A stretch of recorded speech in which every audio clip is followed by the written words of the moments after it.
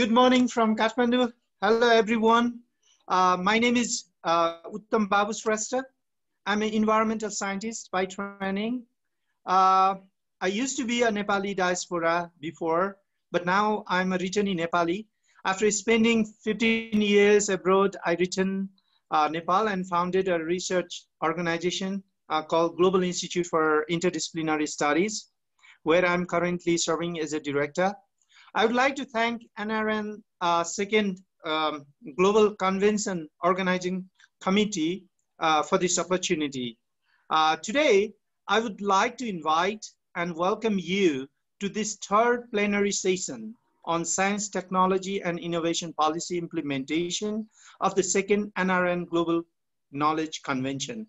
The session is jointly coordinated by Dr. Suresh Dhungel uh, from NAST and myself.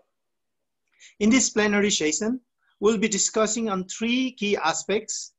The first is Nepal's science, technology, and innovation policy, STI policy, and current existing uh, environment of doing scientific research in Nepal. And um, we'll be talking about the excellence in science. So this two hour long plenary session is divided into two halves. In the first half, we have a keynote speaker and two invited presentations. Uh, and the second half comprises uh, panel discussions. So um, as you have seen in our program booklet, we have three excellent plenary speakers and wonderful panelists uh, in today's plenary session.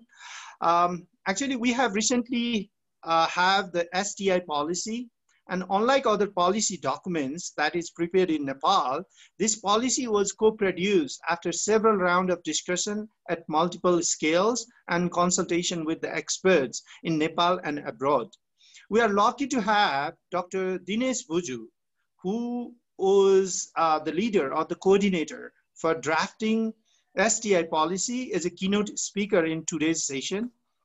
Secondly, in recent times, you know, there is a small trend that, uh, you know, people from abroad, uh, like uh, Nepalese diaspora, are returning, um, particularly, you know, who are working in the scientific research, they are returning Nepal from overseas, and these returnees are conducting research through startup by joining government research organization like NAST, and we have two young invited speakers, Dr. Ram Chandra from NAST and Dr. Basanta Giri from Kathmandu Institute of Applied Science, KIAS.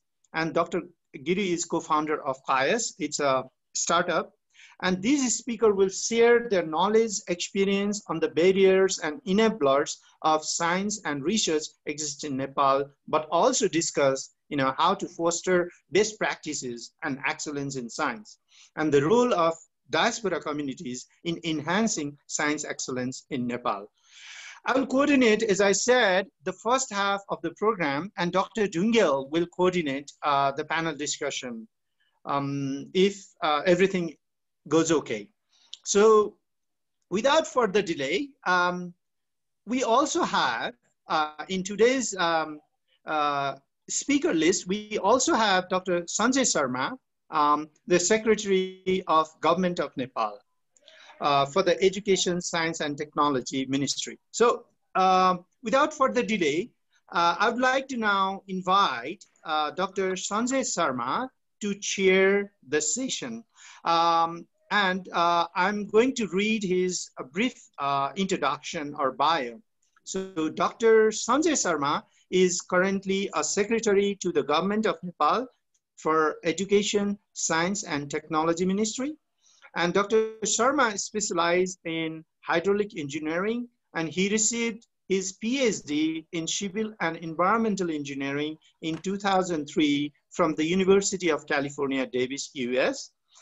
Uh, before attending UC Davis, uh, he obtained a master's degree in engineering from the University of Roorkee, uh, now um, well known as IIT Roorkee. So where he was awarded a Chancellor Gold Medal. So he's an extraordinary um, civil servant of Nepal, and we are lucky to have him uh, as a secretary in the right um, uh, ministry um, that is education science and technology so normally you know the session chair um, uh, is uh, supposed to you know run this um, uh, uh, session but um, because this is the virtual uh, nature of conference so i am helping this task um, to dr sharma so please welcome dr sharma thank you thank you uttamji thank you thank you very much Okay, um, now can I start, uh, sir? Please, please, please, please go ahead. Okay. Go ahead. Uh, thank you so much, uh, Dr. Sharma. so uh, we, as you see, we have a very tight schedule and I would like, to, uh, without further delay, I would like to invite today's uh, keynote speaker, Dr. Dinesh Raj Bhuju. Dr. Dinesh Raj Bhuju is an academician and Management Council member of Nepal Academy of Science and Technology, NAST. He was the coordinator of a committee formed by Ministry of Education, Science and Technology, Government of Nepal for the formulation of National STI Policy 2019. He currently works as an adjunct faculty in the Tribhuvan University Agriculture and Forestry University and Midwestern University of Nepal, as well as Northwest University of China. During his uh, more than three decades of service as NAS, he provided leadership as, uh, as the chief of the Faculty of Science, as well as the chief of promotion and publicity division. And he remains a very popular science communicator in the country uh, due his long affiliation to radio and television program produced by the NAS. Actually, my generation, like me, uh, were greatly inspired by listening him uh, and his voice in radios, seeing him TV, and one of the many sources of inspiration for me, um, particularly to be a scientist, is uh, the radio program run by Dr. Bhuju and his team that ignite curiosity in my childhood to be a scientist. So Dr. Bhuju completed his uh, master's degree in botany from Tribhuvan University, Nepal, um, and PhD in ecology from Chiba University, Japan. Uh, he published several research articles in reputed international journals and popular articles in magazines and national newspaper. And he is the leading crusader for science popularization and institutionalization of scientific culture in our society. And it's really an honor for me um, to um, have Dr. Bhuju uh, in, in these plenary sessions. And thank you, um, Dr. Bhuju, for agreeing our invitations. And now the floor is yours. Uh, please welcome Dr. Dinesh Raj Bhuju. Thank you. Thank you, Dr. Shrestha and Dr. Dhungel. It was um, a very towering introduction of a dwarf person like me. Uttam, you talked the story of the past. If I stand on the present tense, you are my inspirator. You are my inspiration. Your generation is my inspiration. That's why I'm standing here today. Namaste, respected chair of the session, and all friends from Nepal and abroad.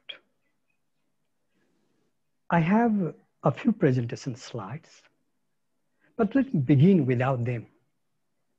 I want to be heard clear and loud. I have this privilege to make a keynote address. In doing so, I find myself a little nervous and flattered. As such, I'm not a policy specialist, but a science practitioner. I enjoy talking science philosophy with my grad students and immersing myself and interpreting my tree line ecology data from the Himalaya. Nevertheless, I have my interest in science policy, as you all have. And Nepal has seen three editions of science policy. The first one was graduated in 1989, the second in 2006, and the third, unveiled in 2019, is in your hand, this one. When the first science policy was formulated, I was its translator. Yes, the original draft of the policy was in English, and I translated into Nepali. It was a great privilege for me. I was a young chap in that time, like Uttam. The second edition, like the first one, was presented in a national conference, and I was moderating the session, the conference. And coming to this third edition, I was a lucky guy to coordinate the draft committee. What a game of the time.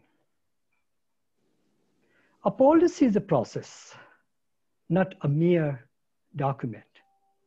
It starts from formalism, enters into implementation phase, and is revised and reviewed to address the priorities of the change system, I mean the political system.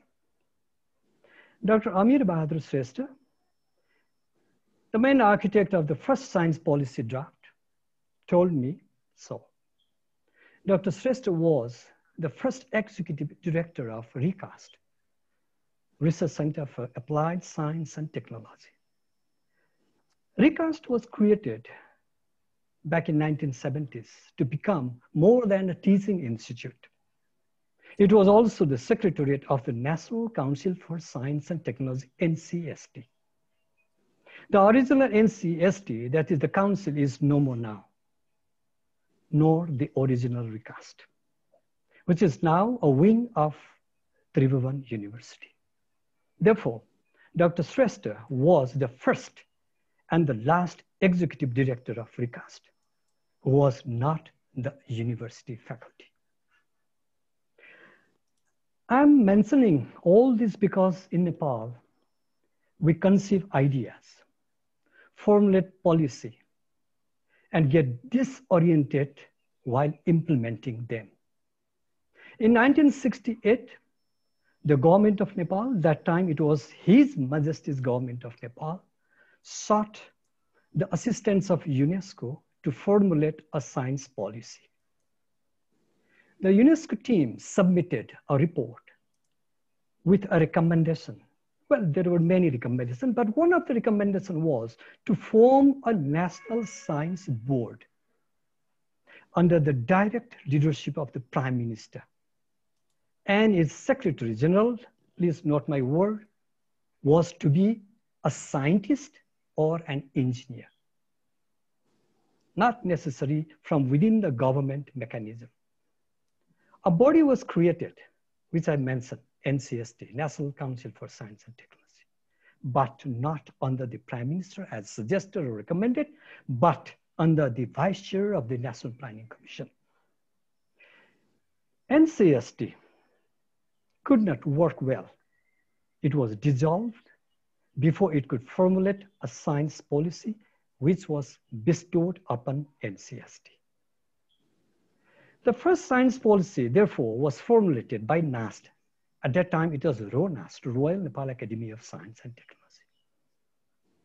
I still remember the Vice Chancellor of the NAST himself presented it in a large gathering of the scientists and technologists in the first National Conference of Science and Technology in 1988. And then it was in 1990 we saw the reinstitution of the multi-party system in Nepal, as you all know. Many did not notice the science policy. Some knew it, but took it as a legacy of the dying Panchayat system. Therefore, better forget than implement. When the second time the science policy was brought, we already had the Ministry of Science and Technology. But it was late to bring the science policy the government was engaged in insurgency and a huge political upheaval was in progress. After the CPA, that is Comprehensive Peace Agreement, the ministry formed a task force. I was called in the team. We did some homeworks, but decided to wait for the new constitution to come. After all, a science policy or any other policy goes in tandem with a nation's political system as you know it. So in 19, uh, so uh, in 2015, there was the earthquake and also we had the new constitution promulgated. And it was followed by general elections. With the constitution in place, the government formed a three tiers. It was at municipality level, provincial level, and somebody says central, but it is federal. So it was a high time for us to review the science policy and uh, bring a new one to gear our science and technology towards achieving the people's aspiration of economic prosperity and social transformation. A draft committee was formed in 2018. Earlier, we had a nationwide consultation in all seven provinces for priority determination and also to know the status of science and technology in the country. I did all facilitation of the consultation meetings. And the secretary, Dr. Sanjay Sharma, who is chairing this session now, was our supporter and a motivator. Thank you, Dr. Sharma. In total, we had 479 participants, please mind it. That was in the first round. Over 250 questionnaires and interviews collected. Then the policy draft committee was formed in October, just after that consultation in 2018. We published, after the formation of this committee, a public notice in a daily newspaper maybe for two days, I think, and sent letters to all 753 local governments, that is the municipalities, and all seven provincial governments through the cabinet, through the government of Nepal. And also we sent letters of request to dozens of departments. We also sent hundreds of emails, including Nepali diaspora. Some of you had got it. And also I got your feedback. Thank you all. We conducted 14 consultation meetings covering all seven provinces. The participants included parliamentarians, academicians, professors, teachers, scientists, engineers, practitioners, and of course, young and experienced. And we had intensive team workshop. Sometimes we quarreled actually. Dr. Dhungel might be recalling it. It was perhaps the first such massive process in the process of any policy in Nepal. I beg your pardon if I'm mistaken. So the policy was unveiled by the Prime Minister of Nepal, no other person. On what day? On the National Science Day. Yek. Present at the occasion were former Prime Minister, Minister of Education, member of National Planning Commission, and NAST Vice Chancellor. What do you need more to witness? Earlier, we had a national conference in the presence of the Deputy Prime Minister, who is still the Deputy Prime Minister. So we left no stone unturned. I'm sure my team will agree with me. So that was the birth of the present STI policy, this policy. I still feel the pang of its birth. On the Science Day this year, it has turned one year. First anniversary. The question is, has it been nurtured? Has it been cared for? Has it been enough nourished? And how many milestones we have installed? So the process of policy implementation is not an easy job. I know it, and you know it.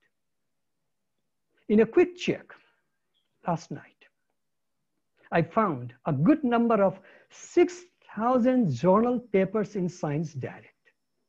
Imagine in last 20 or 25 years. There are hundreds of reports, textbooks, and references. All renowned universities, you take name, Harvard, Oxford, Tsinghua, Cambridge, Seoul, you take name. They all offer courses on science policy and science policy implementation. It simply means there is a huge interest in policy implementation because there are problems and of course there are solutions. Well, many examples could be there and are there. It's a matter of perception. You also have a lot of examples, I know. The only difference is that I'm having this privilege to speak now. Otherwise, you can give hundreds of examples on how science policy is successfully implemented or how science policy is not implemented, both. Here I have an example from Brazil, the Latin American uh, country, an emerging economy. Brazil prepared a national policy of health, a part of science policy back in 2003. The policy formulation involved, please note my words, the numbers. The policy formulation by Brazil, policy formulation of the health science, involved 510 researchers, policymakers, and 15,000 participants from 307 cities and 24 states. A national conference was organized, which approved the policy in 2004. So it took at least two years.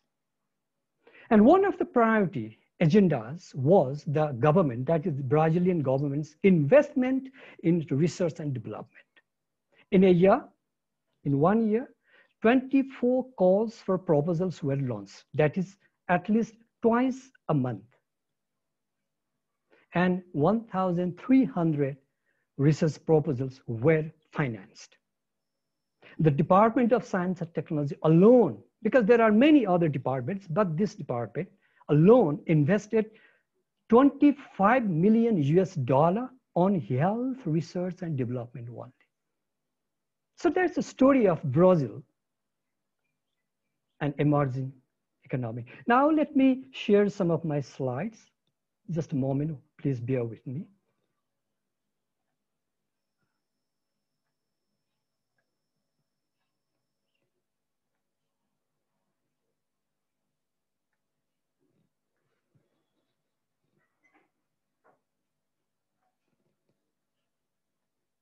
Okay, I think uh, I should also.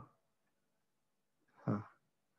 So here you have, uh, just a moment, this is uh, uh making me problem. So I stop my video so that, uh, you know, it will be easy for me to describe it.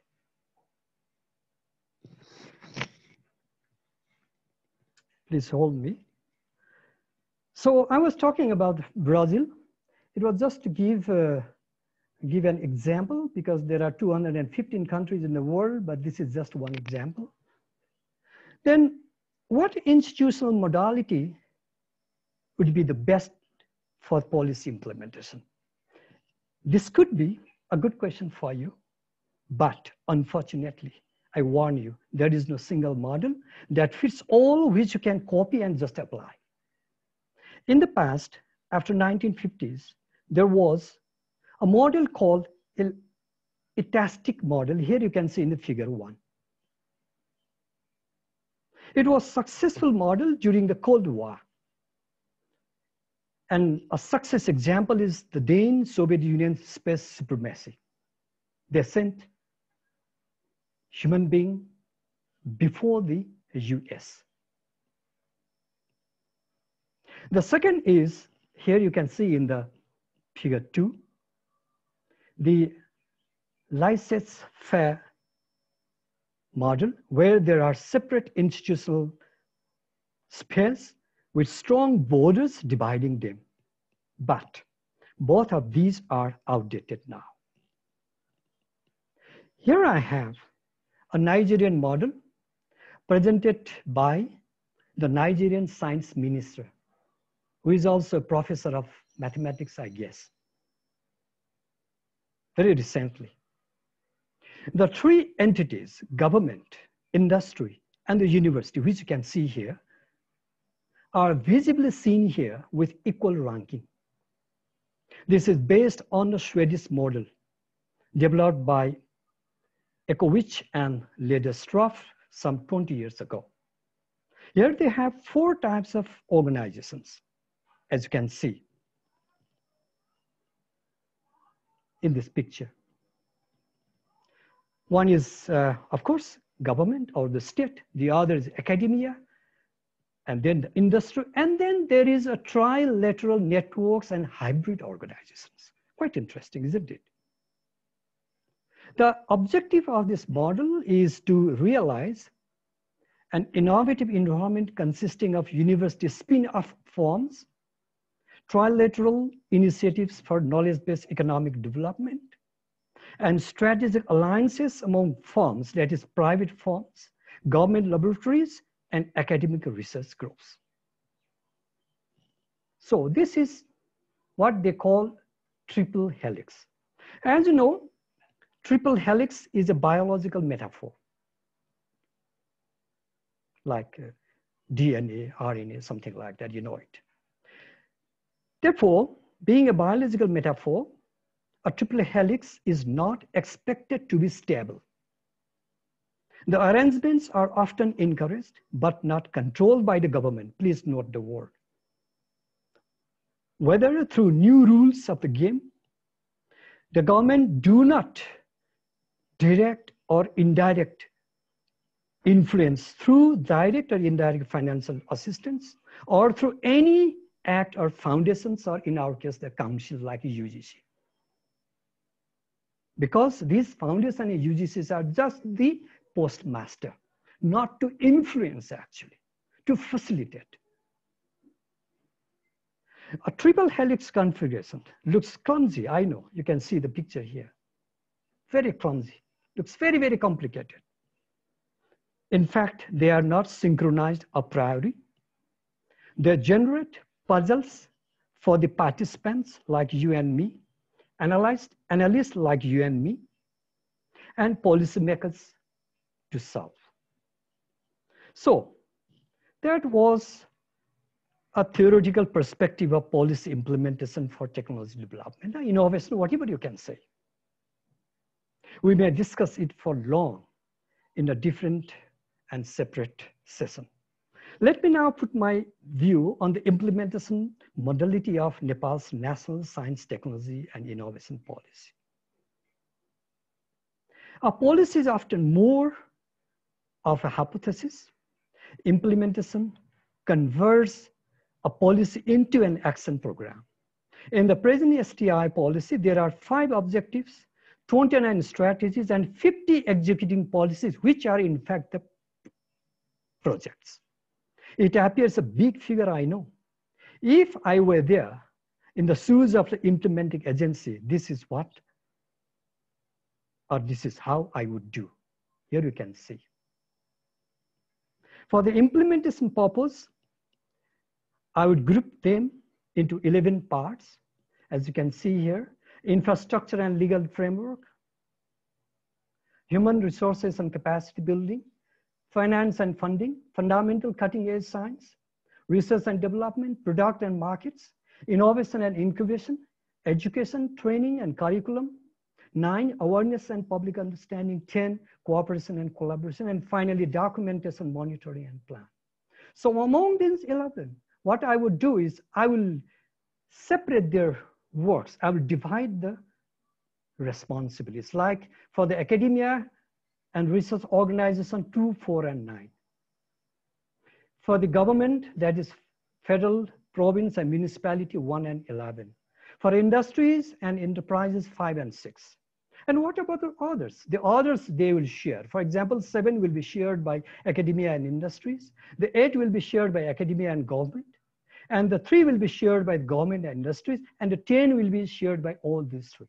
So this, what I would say, as a simplistic model that I think, because I like simplicity in science. As I mentioned earlier, we had a series of consultation meetings, interviews, interactions, almost on every occasion. The first thing we encountered was a question, will this policy be implemented?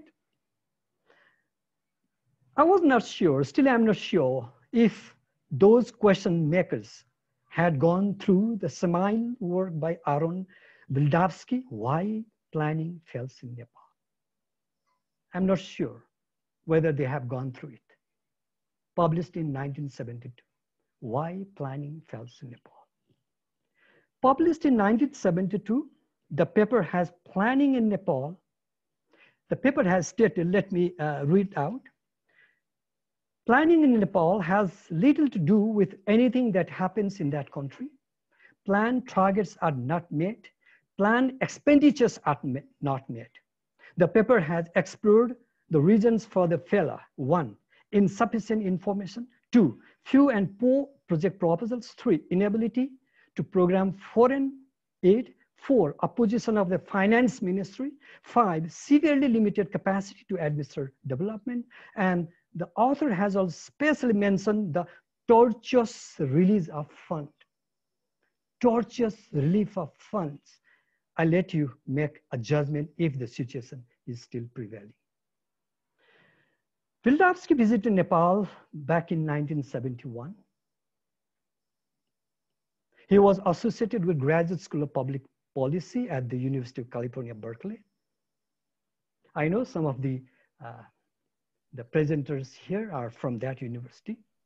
He interviewed 29 personnel, including the Secretary of Finance. Dr. Bhuju, we have uh, five minutes. Um... I'm enough, I'm enough, I will do it within three minutes members of Planning Commission.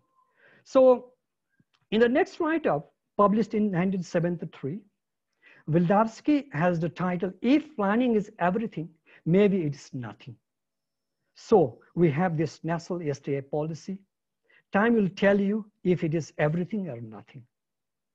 The world is passing through the perils of COVID-19 pandemic, and Nepal is never an exception not only the health sector, but all through development pillars, society, economy, and environment have been shaken. Before these pillars are uprooted, please move ahead, not fighting against Corona, but along with Corona.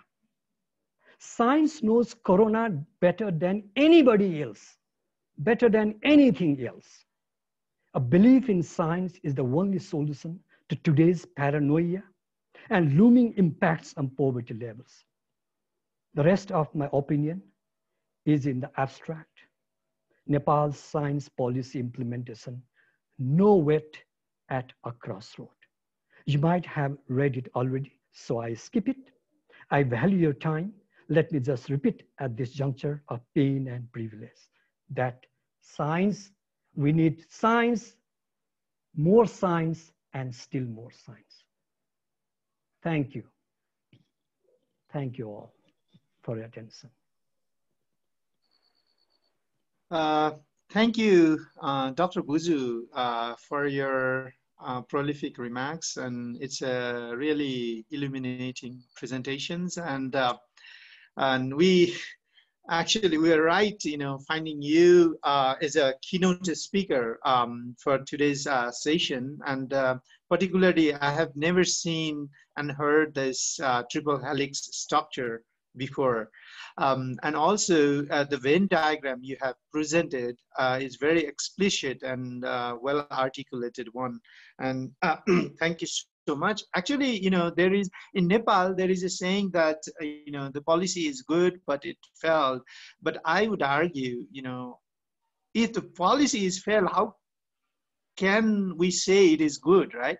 So the, the testament of any policy is based on the implementation. So, um, yeah, and I completely agree with Dr. Bhuju that, you know, we, he is, and all of us are awaiting, you know, how this new uh, science, uh, technology, and innovation policy will be implemented in Nepal. So um, thank you everyone for listening. And um, uh, is um, I said before, we have two other invited speakers and um, uh, I already mentioned that there is a small trend, you know, like uh, Nepalese scientists go abroad and get training and experience from abroad and return back to home and either join already established government organization like NAST or they form their own startup uh, like KIAS. And we have two wonderful young um, invited speakers. Um, and one is uh, chosen from uh, the government institutions like NAST and another from the private uh, startup like KIAS. So um, I would like to invite uh, our first uh, invited speaker, Dr. Ramchandra Paudel. Actually, he's uh, my classmate, um, and I'm very glad to have him here. And Dr. Ramchandra Paudel is a senior scientific officer at the National Academy of Science and Technology, NAS, and he, um, you know, has been working uh, in the various issues, uh, particularly focus on the Himalayan region. And his landmark work is the conservation genetics of the three species of yew, uh, Taxus, I think, uh, distributed along the Hindu Kush Himalayan region. He has published more than 15 research articles, um, and he is trained in molecular phylogeny and, um, and also in DNA barcoding, conservation genetics, Himalayan biogeography, biodiversity assessment, sustainable utilization, and value addition of non-timber forest product is the primary area of his research. And he has received our Darwin Initiatives and Third World Academy Awards recently. So I'd like to invite Dr. Ramchandra Paudel uh, to deliver the invited speech. Uh, Dr. Thank, you very much, Paudel. Uh, uh, let me share my uh, slide. I think I do have problem with my camera. So, uh, shall I start? Yes, absolutely. Please go ahead. Thank you. Uh, yes, uh, Dostro NRNA uh, Global uh, Knowledge Convention ma bibhinna sthan bata uh, online marfat jodinu hune sampurna adarniya manubhav prati ma hardik naman gardachu. Respected chairperson, the session coordinates, and ladies and gentlemen, this is Ramchandra Paudel, working in Nepal Academy of Science and Technology. In presentation, I will focus on challenges on government organization to implement STI policy. Uh, 2019, I will uh, try to present uh, our situation uh, objectively as possible. Uh, we are uh, at an initial phase of implementation of the, the policy.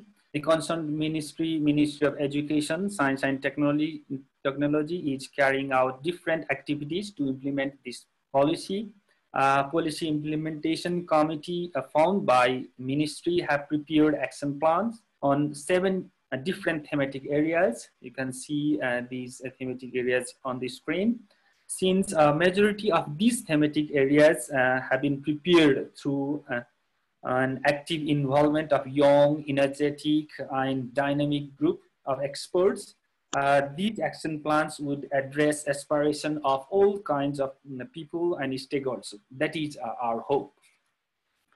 Uh, the, those action plans uh, were uh, presented during the 8th Science Day. Uh, now let us move to the hurdle in school education. for STI development, we have to provide quality education to children of all social classes uh, and economic classes living in different uh, parts of the country. we have to enrich our uh, classes with sufficient teaching um, materials, use multimedia while teaching and involve adequate hands-on activities, making learning uh, fun for students. Organizing science exhibitions will encourage more students to participate on innovations. In addition, uh, we have to attract young talents. This is a challenge in teaching profession because they are more likely to adopt uh, effective teaching methods using available new techniques. And regarding university education, although our existing university, universities are producing talent students who regularly get admission in the top university of developed countries, our uh, faculty infrastructure are still uh, very poor. There are lack of research and grants and fellowships for faculties and students to conduct scientific researches. Uh, we do not have, you know, multidisciplinary lab where students can design, perform experiments, test their hypotheses on, uh, you know, countries' need and priorities. Students and faculties should have a collaboration with international universities for experience sharing, for exposure and updates. And we should provide sufficient opportunities to do PhD and postdocs for students, which is lacking. Talent graduates should be uh, uh, recruited in existing research organizations and probably incubation fund will encourage graduates to start their own business. Uh, in case of research organization or departments uh, under governments, they also have a similar problem they lack research funds and skilled manpower despite having empty positions. Sometimes they do have dormancy as well. And due to lack of educate research culture, the research activities of the organization are not productive as expected.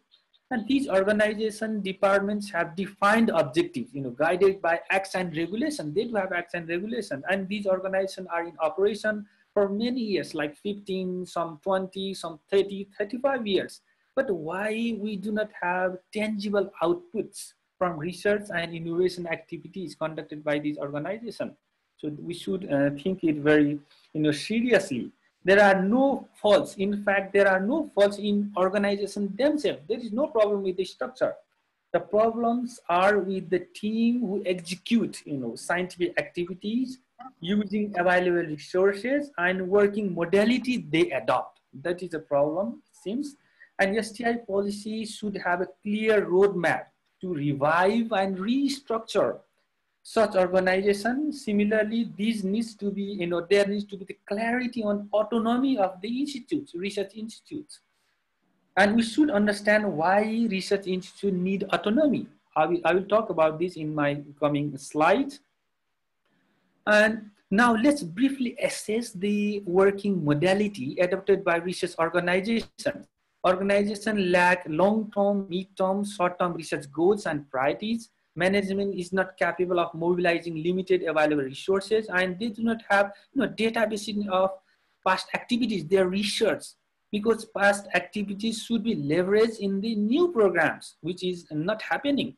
And there, this is attributed to frequent change in leadership, you know, in these organizations. And sometimes they don't have right person uh, for the right position like department head, unit head, lab head, or program head. You know, there should be who should have you know, expertise in the related subject matter. It should be, it is very important. And staffs, normally staffs are transferred to different departments or units, sometimes different district as well, they visit they go there and there they, they, they don't have opportunity to continue the research which uh, in which they were involved for several years so their previous research activity would not be productive because they can't continue and the the next assignment they get and their activity would not be effective because, because they don't have expertise on that so this is the main reason on reduced capacity and lack of motivation towards scientific and innovation innovative activities among staffs. Situation in, uh, is slightly different in, in the organization. Uh, they get political leadership.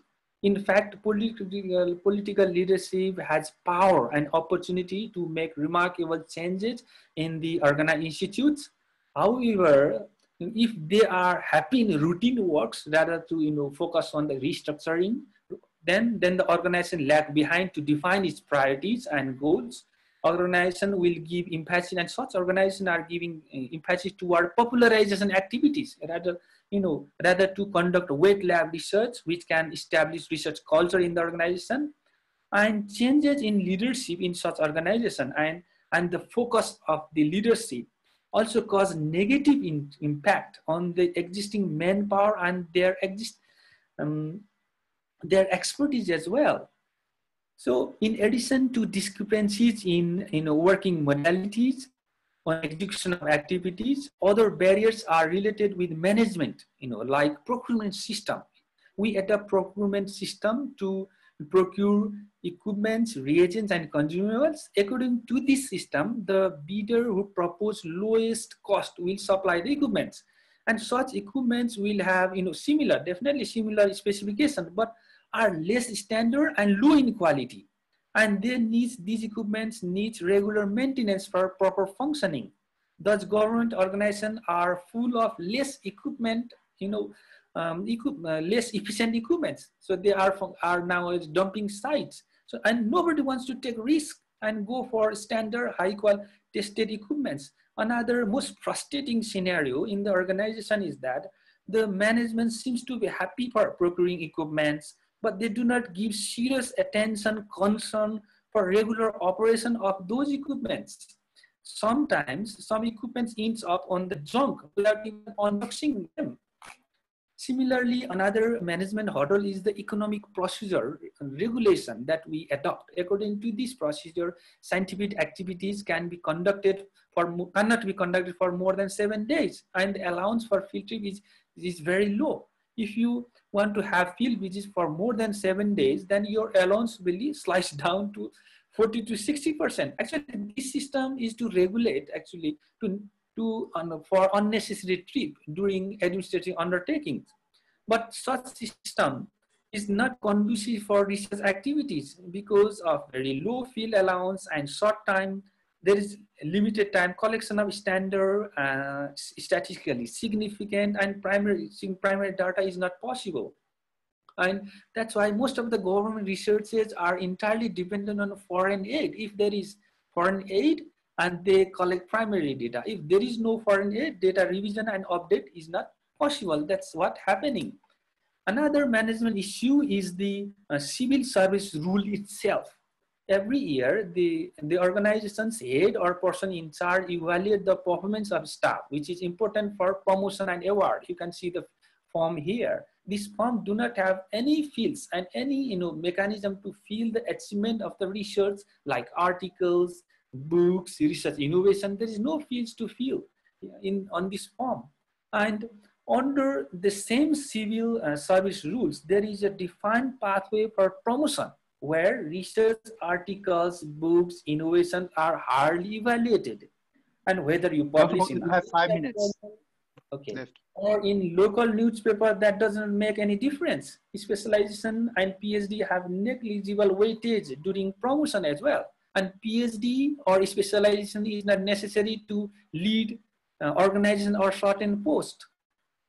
Similar period of service is the important parameter irrespective of his or scientific capabilities. Person who can pass the exam of public service commission is competent for any position in, in research organization. A diploma or master degree holder can head multidisciplinary research centers. No need to be specialized in the field. So there is no you know, concern regarding the expertise. So in such situation, how we can recruit talent, both young and old, faculties, research scholars working in developed countries in our research institutions and academies. How we can connect NASA to multidisciplinary lab existing at NAST, NARC, and other departments. No, there is, there is. So there is, but uh, uh, unfortunately, there is light of hope. Recently, uh, in recent years, TU has taken initiatives and started to recruit talent uh, from abroad. And another frustrating part is the dominance of administrative administration over scientific activities. Scientific activities and research culture will come in complete halt when leadership and administrator staff do not understand the importance of wet lab research. This is the problem. They cannot see difference between procuring vehicle or painting building and procuring sophisticated equipment, high quality reagents and such people are less interested to allocate money for research and functioning of equipment that have been purchased. And it is difficult to justify the necessity of extra days for the scientists, but extra days for collecting more and, and, good quality sample if they don't understand. And research paper and innovations are always undermined by such you know, practice when such culture persists in the organization. And the, they want scientists to grow like, you know, pumpkin on the branches of tree within one year or if the leader is there for a few years, then he's hard tenure. You want to see that sort of product. So how STI policy can improve such situation prevalent in research organization? We should you know, discuss this seriously. It is up to the concerned authorities whether to blame organization, the structure, and look for possibility by opening new centers, universities, or start sincere and productive effort to revive and restructuring of existing research organization where nationally and internationally trained manpower can work independently and private organization can also work together for the development of STI in Nepal. So in conclusion, STI activities will be productive in government organization if working modalities in such organization and our service systems are you know changed in its favor like procurement system economy regulation recruitment of specialized talent give a like first class position for faculties research scholars uh, who work in the world class universities and another is autonomy is necessary for overall management of the organization. But but right person is the must for these organization autonomous organization who, who lead these organization. And since there are several areas have been incorporated in the policy cross-cutting issues are there the Ministry of Education, Science and Technology should enhance its own capacity to coordinate, you know, relevant ministries for an effective implementation. And definitely another is the investment of research should be increased. And last but not least, ministries should act seriously for revival and restructuring of existing institutes rather than establishing new centers. Thank you very much.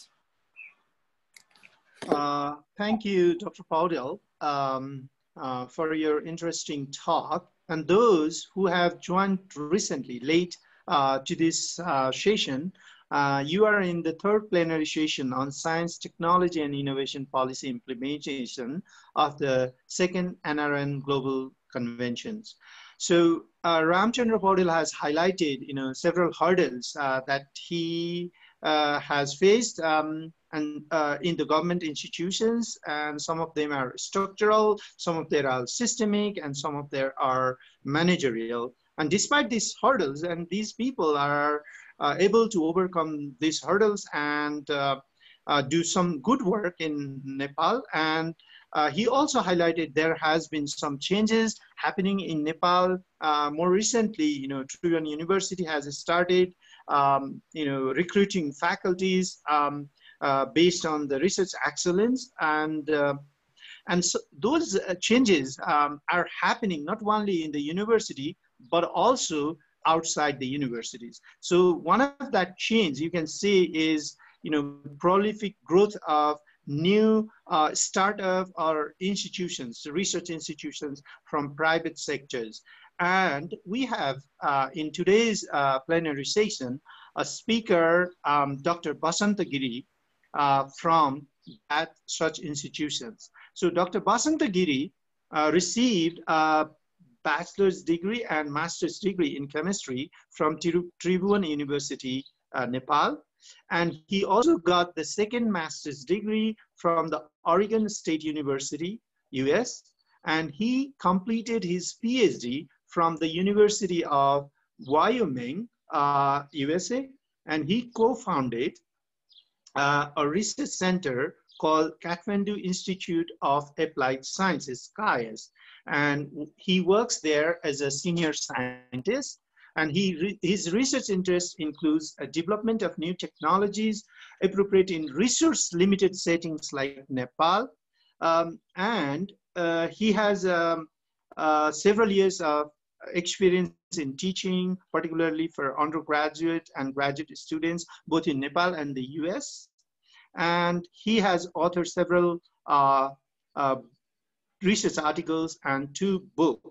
Actually, Dr. Giri is one of the motivations for all the diaspora scientists who has been working abroad and thinking to come back to Nepal because he has founded uh, excellent institutions and um, shown that there is a possibility doing good science uh, working in the limited resource condition like Nepal. And more recently, the papers or the research, uh, his institutions and him um, were cited um, by WHO in the context of COVID. So without further delay, I would like to welcome Dr. Uh, Giri uh, Basanta. Now, uh, floor thank you, Uttamji, for the nice introduction. Uh, I would like to thank the second NRN Global Knowledge Con uh, Convention Organizing Committee and the um, coordinators of this plenary session for inviting me. Uh, dear uh, chair of this session, uh, so in this presentation, I will uh, share my experience of establishing a non-governmental research organization in Nepal and running it for several years. Um, I also share the story of similar other organizations functioning in Nepal. Two previous speakers um, nicely uh, talked about the history of bringing the STI policy uh, in Nepal, and then uh, Ramchandra uh, Paudelji uh, explained the challenges of running a research, uh, government uh, research organizations. so my slides are in English, but I will be moving back and forth in both in English and Nepali because we are talking about STI policy um, in Nepal. as Ramchandra ji rightly pointed out, a list of uh, problems. Uh, some of the problems we also share with them, uh, and but we have some unique problems that government research organizations do not have to face. Um, among many problems, I will focus on two important issues, uh, and then uh, also briefly uh, touch upon other um, few issues. So when we look at the uh, research publications, uh, uh, obviously the contribution from universities is dominating. And also there are some government agencies and departments. They are also uh, contributing to research and some hospitals, even teaching hospitals, um, NGOs and INGOs, non-profit um, companies, and there are few um, research-based organizations who are actively involved in research innovation um, in Nepal. Among those research-based organizations um, is the Kathmandu Institute of Applied Sciences. Uh, this is a science, we focus mostly on science, multidisciplinary science, and research-focused institution uh, we established this um, institution in back in 2014 um, by a group of uh, our colleagues uh, who were uh, trained and educated in abroad, um, come back, came back to Nepal, and then uh, wanted to have a, a nice research institution. But it is registered as a non-government organization. Uh, currently, we have about 20 to 25 um, workforce, including four full-time PhD scientists and other uh, research associates and research assistants. Uh, we have been uh, very active um, in our work for past only four years. Uh, Kathmandu Institute of Applied Sciences uh, uh, scientists or researchers in this institute um, do a lot of uh, cover a lot of areas, including you know environmental science, um, uh, biodiversity, uh, wildlife, human conflict, to you know um, using remote sensing to look at the drought over the South Asia region, and developing low-cost analytical technologies uh, to screen the quality of you know even drugs, water, food. We also work on uh, science policy issues, conservation policy issues, governance planning, and um, we have been also involved in citizen science projects. Just to highlight, take the, this opportunity and uh, I want to highlight uh, the work of my research group. We focus on developing low cost technologies that are particularly appropriate for resource limited settings. Um, so our um, technologies are applicable in drug, drug quality screening, both allopathic and herbal drugs. Uh, also in water quality screening, uh, we have been working on uh, air quality monitoring issues, uh, food quality, for example, developing a paper-based analytical device for uh, measuring the pesticide residues on food and vegetables. Uh, we have also developed paper-based device for mm, some clinical applications, particularly urine and blood samples for test, testing some um, target analytes. And basically, uh, we uh, work on developing paper microfluidics, as you see in the left lower corner, and then combine that with the smartphone technology to read the signal on the paper device, analyze the signal, and report the result to the user. Just to highlight recent, our recent um, works, on your left you see uh, the, um, the work on the filtering efficiency of face masks published last year uh, in collaboration with uh, Dr. Bhanu Neupane from uh, University. Uh, this work actually because of COVID uh, got quite a bit of attention. It has been cited or featured in more than 100 newspapers, including USA Today and um, Scientific American and one policy document by the WHO in its uh, guideline for uh, personal protective equipment. Um, our paper has been cited. Uh, the left one, uh, the paper um, on the smartphone microscope for uh, detecting cryptosporidium and giardia has been published in uh, PLOS Neglected Tropical Disease. And uh, actually, Nepali media also featured this um, paper, for example, in Nepal cover and also in Kantipur. So we are, we are quite very happy about, um, about, about this. So we, we think that we have been um, doing uh, good science um, in Nepal. Um,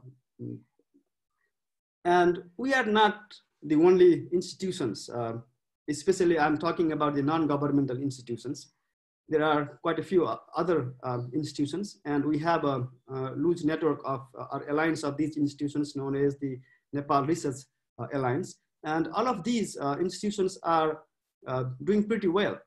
Um, they're uh, doing um, internationally re recognized uh, mm, world-class research and world-class science.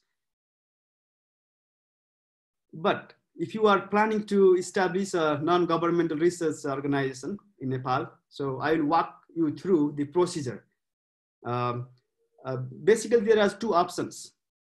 The first option, you have to register as a NGO at the district administration office, or you can also register as a at the office of the company registrar. Um, most of our colleagues have registered as a non-profit distributing company and I'll uh, share my experience um, of registering, um, renewing every year and taking approvals uh, for uh, organization uh, like KIAS, which is registered as NGO. So we have to go to the ward office, get all the documents, uh, get recommendation from ward office, and then bring that package to the municipality office and get their recommendation and go to district coordination committee these days. And then finally go to the district administration office uh, for registration. We also have to get registered at the Inland Revenue Office for tax purposes. And finally, the Social Welfare Council, which oversees our activities. And you have to do this uh, every year uh, during the renewable process. If you are lucky enough and you have a good network uh, of people in these offices, uh, you can finish it maybe in a couple of weeks. Otherwise, it takes uh, months. We also need to get approval for our projects, especially those are funded by international funding agencies from the Social Welfare Council. Uh, and we repeat the same pro procedure. Go to ward office, um, submit all the project documents, uh, and the institutional document, get recommendation from the ward office, go to municipality, do the same thing, and then finally go to the Social uh, Welfare Council uh, for the approval. Uh, let me share you uh, one of my um, own experience. Uh, we got, uh, two years ago, we got a funding uh, from National Academy of uh, Science, Engineering, and Medicine from the US.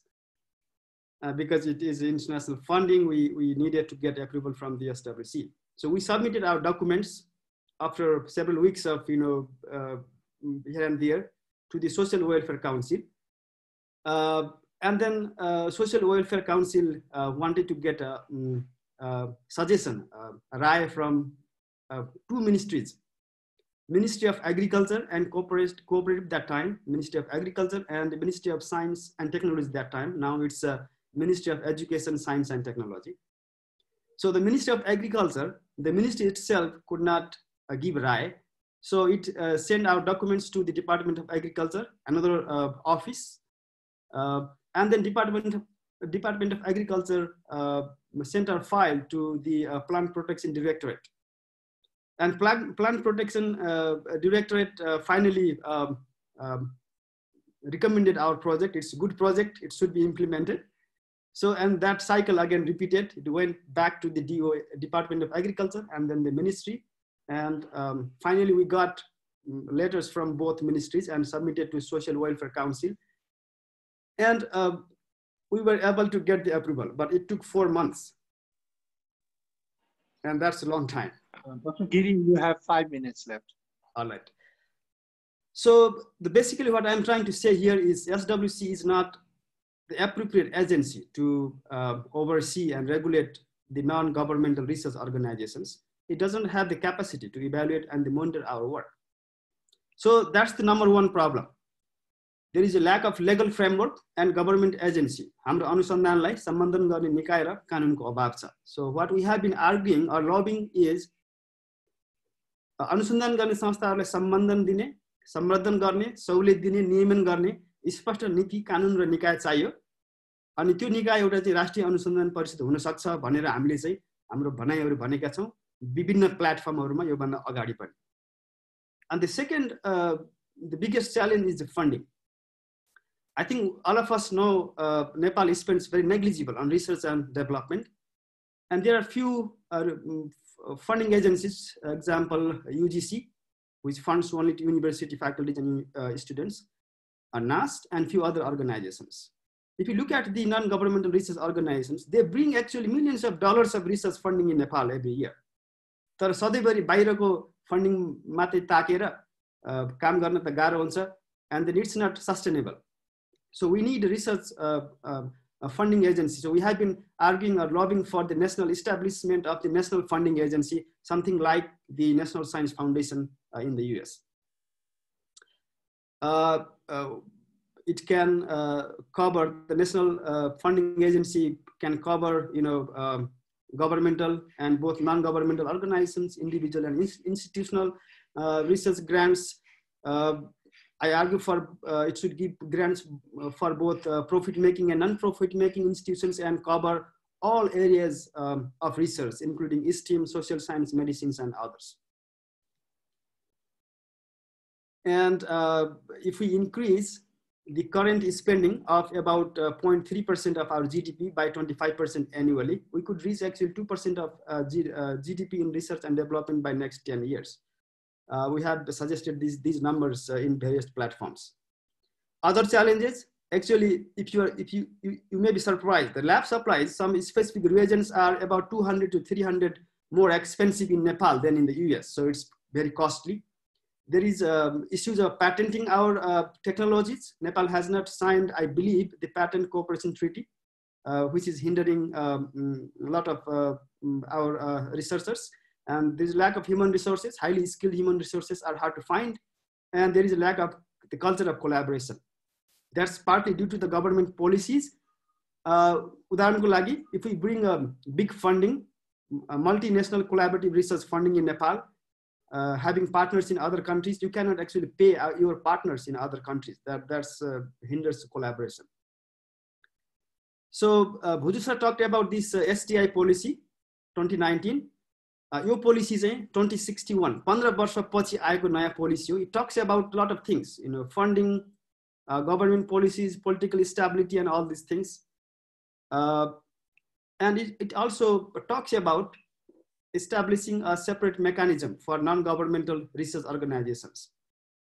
Uh, we are still uh, to see how it um, is implemented.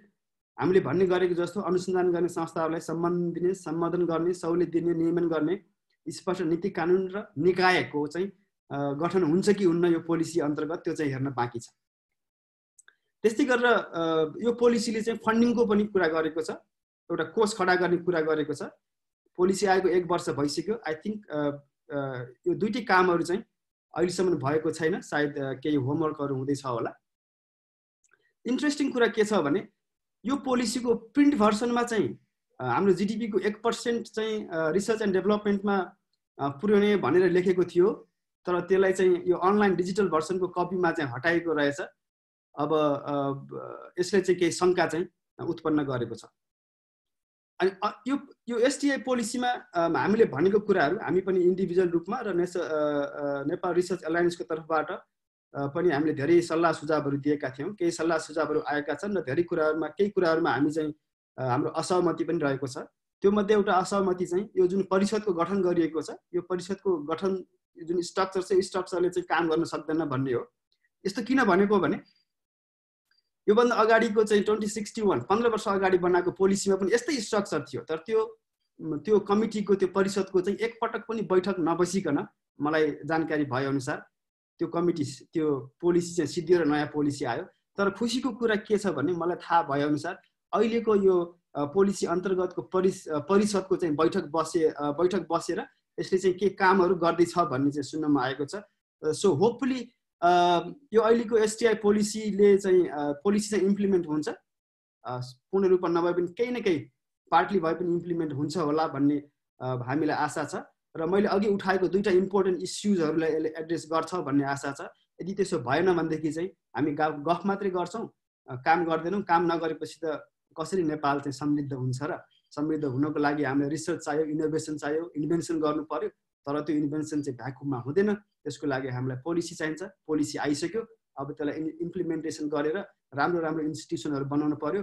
अनि त्यसपछि राम्रो काम गर्ने मान्छेहरूलाई चाहिँ नेपालमै बसेर काम गर्ने वातावरण बनाउनु पर्यो अनि त्यसपछि फन्डिङको चाहिँ राम्रो व्यवस्था पर्यो व्यवस्था गर्नु पर्यो भन्ने भन्दै मेरो प्रेजेन्टेसन चाहिँ यहीँ कन्क्लुड गर्छु thank you very much if you have any questions I would be happy to answer in later thank you, Dr. Giri. Um, so actually we are on track of time and um, he has highlighted several hurdles uh, that uh, the private uh, institutions uh, are facing in Nepal. Uh, some are directly linked uh, to the implementation of STI policy. And we have luckily um, here the secretary from the Education, Science and Technology Ministry. So hope in his tenure, we have uh, been able to solve, we'll be able to solve these issues um, and that will ease um, uh, you know, doing research in Nepal. Actually, you know, while uh, Dr. Giri was presenting uh, his uh, presentation, and I was looking, you know, how many research institutions in Nepal are indexed in Nature Index. And what I have found, because I strongly believe, um, you know, there is a huge um, potential and also the possibility of doing science outside you know government settings. And when the nepal is prosperous country and we will have when our university is like you know harvard yale or kind of university like that and then our institutions like KIAS will be something like brookings or uh, TERI or something like that. So we need those type of locally led institutions in nepal more and more so and uh, I just want to highlight, you know, I was looking when Dr. Giri was uh, giving his talk and I was looking in Nature Index, how many institutions in Nepal were indexed in that list. And what I found was uh, it was just arbitrarily and our institutions, Global Institute for Interdisciplinary Studies, which he cited in his slide, was indexed there. So you can see, you know, the, the environment um, is there and we need to do the credible research and we need to do the credible science and the government policies should be facilitating uh, the research. So hopefully, you know, in his concluding remarks, Dr. Sanjay Sharma, the Secretary uh, for the Education and Sci Education, Science and Technology Ministry uh, will bring the hope for all of us I would like to invite, with a, without further delay, uh, Dr. Sanjay Sharma uh, for his uh, concluding remarks. Dr. Sharma. Uh, can you hear me? Okay. Yes, sir. Are you able to hear? well, yeah. I, I, suppose we still have we still have panelists uh, to to uh, to speak, aren't they? Dr. Dhungel, I think uh, you, you're supposed to yeah, yeah, run uh, show, yeah, right? yeah. It will okay. be better wrap up the session with your concluding remarks at the end. Right, right. Okay. Yeah. yeah.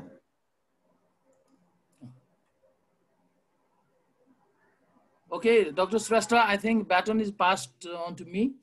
Uh, may I proceed? Uh, with the permission of the... Yes, please. Uh, uh respected session chair, um, distinguished uh, speakers, panelists, uh, other participants. Fortunately, we have uh, the cons uh, chair also, uh, you know, in our session today, Dr. Sharma, Hemra Sharma, who's the General Secretary of the NRNA, and all the participants from across the globe who are watching us live on Facebook.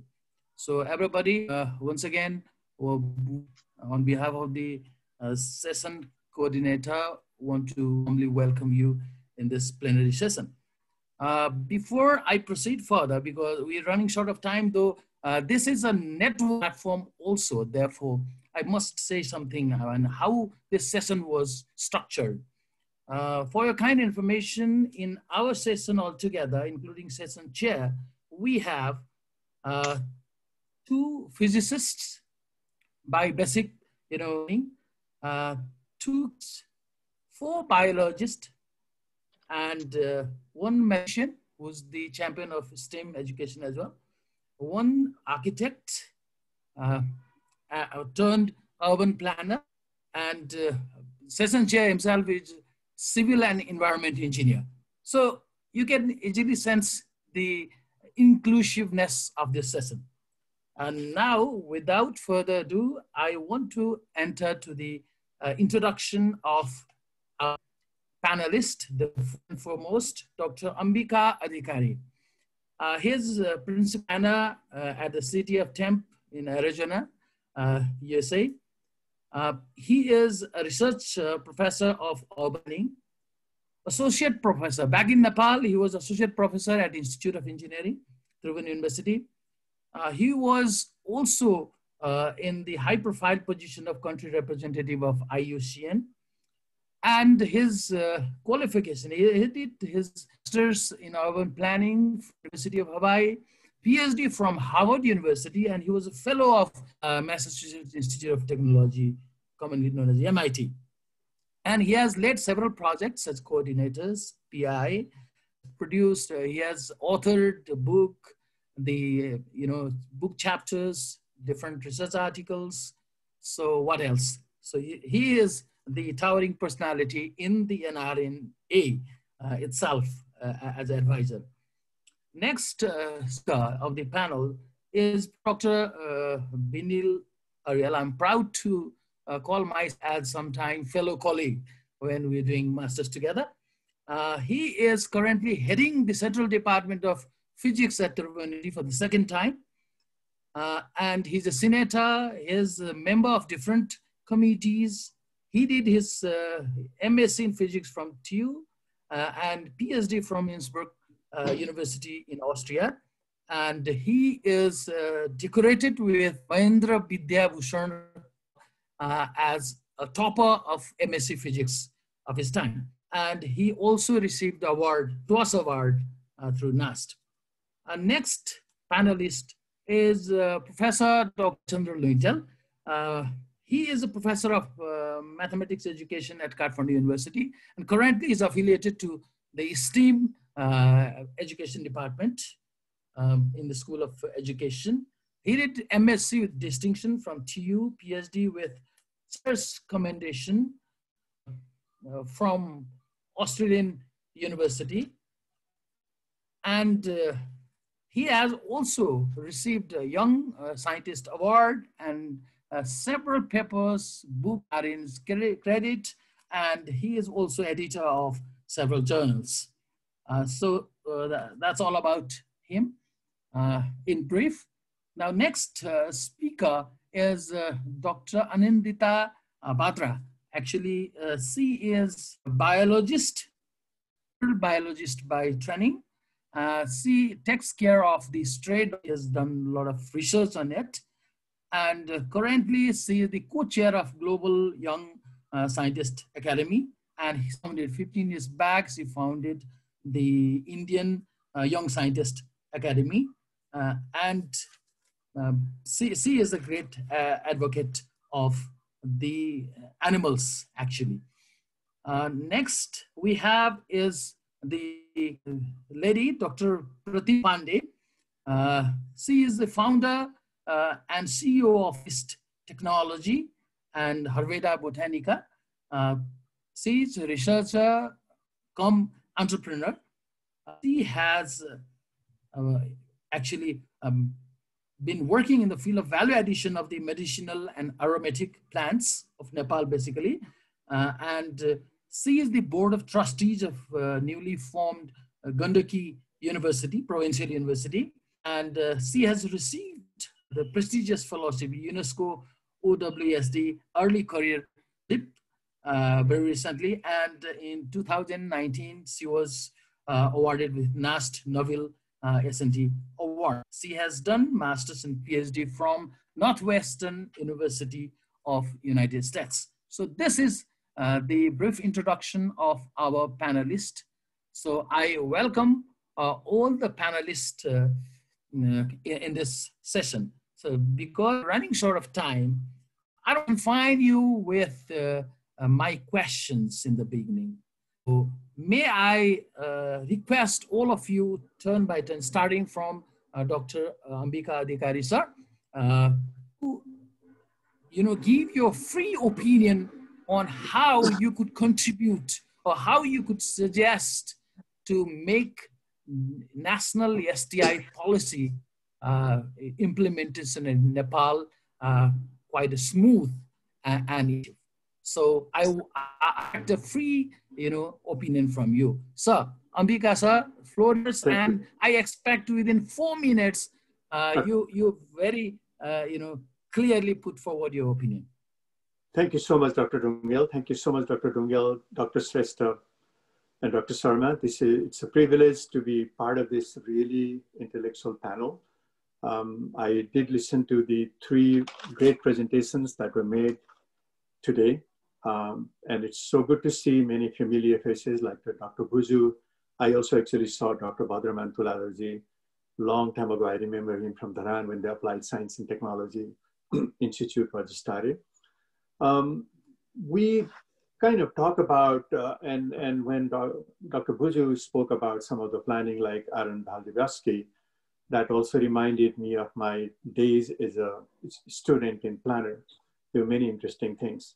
Uh, lots of good points came. I, when uh, Dr. Giri was talking about how tedious it is to get renewal of some of the documentation in Nepal, I was reminded of two quotations that I had heard Dr. Jagdish Bhagwati talking about back in the old days in India prior to 1990. So it was talked about by Indian professionals, so I can quote it quite safely because they've done, they've come a long way, they've done quite a bit, but it, before the 90s, even the bureaucracy in India was not all the best. So one quotation was the Indian state has the engine of a bullock cart, but the brakes of the Rolls Royce. And when Dr. Giri was talking about all the paperwork and documentation that you need to go through, the hassle that you need to go through just to get the registration, I got reminded of that. And then also, before the science and technology really took place in India, right now, India is a world power in software technology, even in space technology, and so on. Dr. Jagdish Bhagwati, again, economist at Columbia University, I was listening to one of his talks and he quoted one Indian national saying, the only part of the Indian car that was made prior to 1990 that made noise, that did not make noise, was the horn of the car. So, you know, countries go through a lot of problems when science and technology has to take root in the country. And I know compared to what we had in Nepal 20, 25 years ago, people like Dr. Dhungel, Dr. Giri, Dr. Uttam Babu Shrestha, who's gone back to Nepal and established things. I think we've come a long way, and I, that really gives us a hope. Now, the important thing is with the digital technologies, just like we are right now, across the time zones, across all the seven continents, the diaspora is growing in its size. We are almost 800,000 permanently settled diaspora in the developed, world in North America, Europe, and Oceania. And we can talk in real time, we can connect in real time. So it's not like previous to the digital technology, things are very difficult. So we can basically, just like the World Wide Web, I think the brains are also now connected. We can be in Jumla or you can be in Phoenix, Arizona, and you could still access the same Google. You can still access the same Zoom technology. So I think this really gives us a really good base boost to to work on the scientific field. Now, the science and technology, I remember my days in ISC doing the intermediate of science in Biratnagar, Morang College. You know, we had no electricity in the hostel that I lived. I came from Dharan in Bhojpur, no electricity. And we used to study in physics the current electricity and, and static electricity. So a lot of things were abstract. I had not seen how electricity actually worked but we used to study it and try to make sense of it. It was difficult. I think in our developing, developing country, a lot of that abstraction sometimes doesn't give us the experiential learning. Now Nepal has come a long way, and I think the fields of the science, technology, engineering, and, and, and medicine, I think we have a lot of things that are happening, and we can really push the type of education that is more experiential, that's more hands-on, that works in the lab.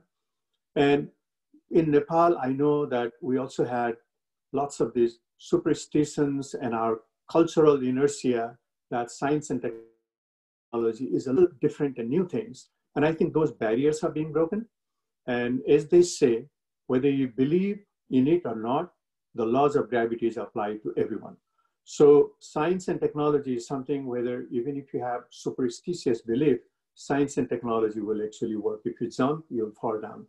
And with those kind of things, I think the educational investment that Dr. Bhuju talked about, the startups that uh, we heard from Dr. Paudel and uh, Dr. Giri, I think those are the elements that really push us forward in science and technology. I think we have uh, come a long way, a long way to go, but thank you so much for, your, for this opportunity. Dr. Dhungel, back to you. Thank you, sir, uh, for your full and encouraging words. Uh, we'll come back uh, to you again, uh, final round. So there's the first round going on. So uh, Dr. Professor Dr. Binil Aryal, I think the same, same applies to you as well. Please express your opinion how we could smoothly implement the current STI policy in Nepal. uh, because you have uh, been a leader of a successful leader of the department uh, of physics in the Tribhuvan University. Please, this uh, turn.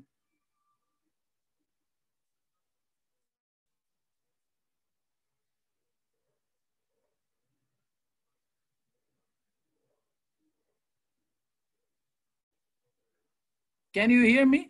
I, I think he was there in the beginning, but I don't see him uh, turning on. So should we move to the next? Uh, Professor Dr. Balchandra Luitel from Kathmandu University. So, because the science education, both policies have highlighted on STEAM education to be the integral of the education system of Nepal, and you are the champion of STEAM education. Could you highlight uh, you know, integrating that to the science policy as well. addition of science policy, please. Unmute. Thank you, Dr. Dhungel, and thank you, um, the presenters. Uh, presenters, the the presentations were um, wonderful, excellent, and they um, touched upon different dimensions of STI policy. Um, you know, I mean, you just mentioned uh, STEAM and uh, STI policy. I think uh, we cannot actually uh, make STI policy better without integrating it with education system. We need to actually conceive of the science and technology education from the perspective of improving our lives. So from that perspective, I think you know what uh, Dr. Adhikari just mentioned, more of experiential learning. We need more, more maker-space pedagogy, and that has to be integrated with STI policy. For example, we are preparing curriculum. This is the time of curriculum revision. Revision this year is the year of curriculum revision. And we need to actually reflect um, uh, our vision into these curricula from grade one to grade 12. Um, I think, you know, if we are to reflect on our science, math, technology education, we call it STEAM, science, math, technology, engineering, and we also inserted arts and creative, you know, creative, creativity and arts in there. So um, we need a cadre, and this cadre can be prepared, uh, can be better prepared if we have a better school education system. So for that, we need more um, uh, shift from science as a body of knowledge to more science as an activity or science as a set of activities. So for that, we need maker space like, uh, you know, schools should have not just science lab. Science lab is something old idea. Now we need maker space. We need pedagogy that actually engage learners as, um, as, as someone who produce solutions. Solutions very much, uh, you know, helpful to um, address problems around their, their, their life work. So that is one of the departure we need in both policy, uh, in STI policy, and also connected that with education system. Um, one idea about science, you know, there are different forms of science education. One that we transmit information, one that engages students in practical learning, one that engages students in um, you know, social transformation. For example, science can be a vehicle for social transformation, but we need that kind of uh, educational process in the school system. If you are to reflect on the ongoing educational process around science, technology, uh, engineering, mathematics, and so on and so forth, then uh, the, the dominant uh, system or dominant pedagogy, if I have to say, is more of transmission kind. It deals with information. So we need to actually make a clear departure in policy that the nature of science, nature of science and technology we are advocating, okay? So that, that is my concern. I think that is needed uh, until and unless we integrate with right type of education, I would call it right type of education. Uh, otherwise, it would be difficult to actually uh, actually having uh, solutions driven, more innovation, invention driven science, uh, you know, in, in, in school and university system. As far as, uh, you know, linkage between industry and university, uh, uh, you know, Dr. Bhuju mentioned quite, you know, appropriately that the, the policy premise is, is quite fine. But how about the implementing agencies? How about our universities? We have 11, 12 universities and there are science and technology education, there are engineering education. We need to see that, uh, we need to put that in context.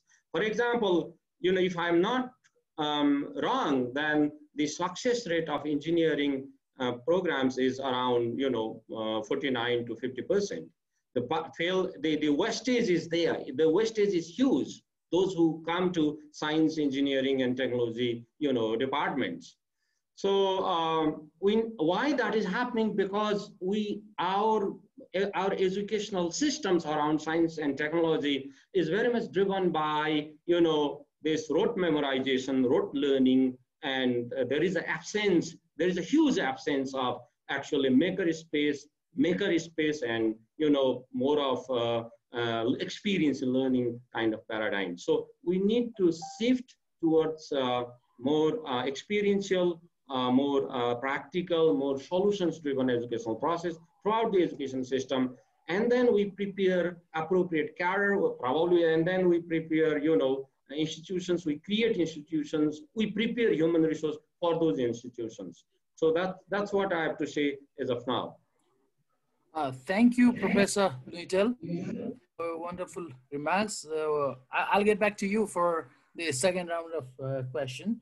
Uh, now I, I invite uh, Bhadra, Anandita Bhadra, for your insightful remarks.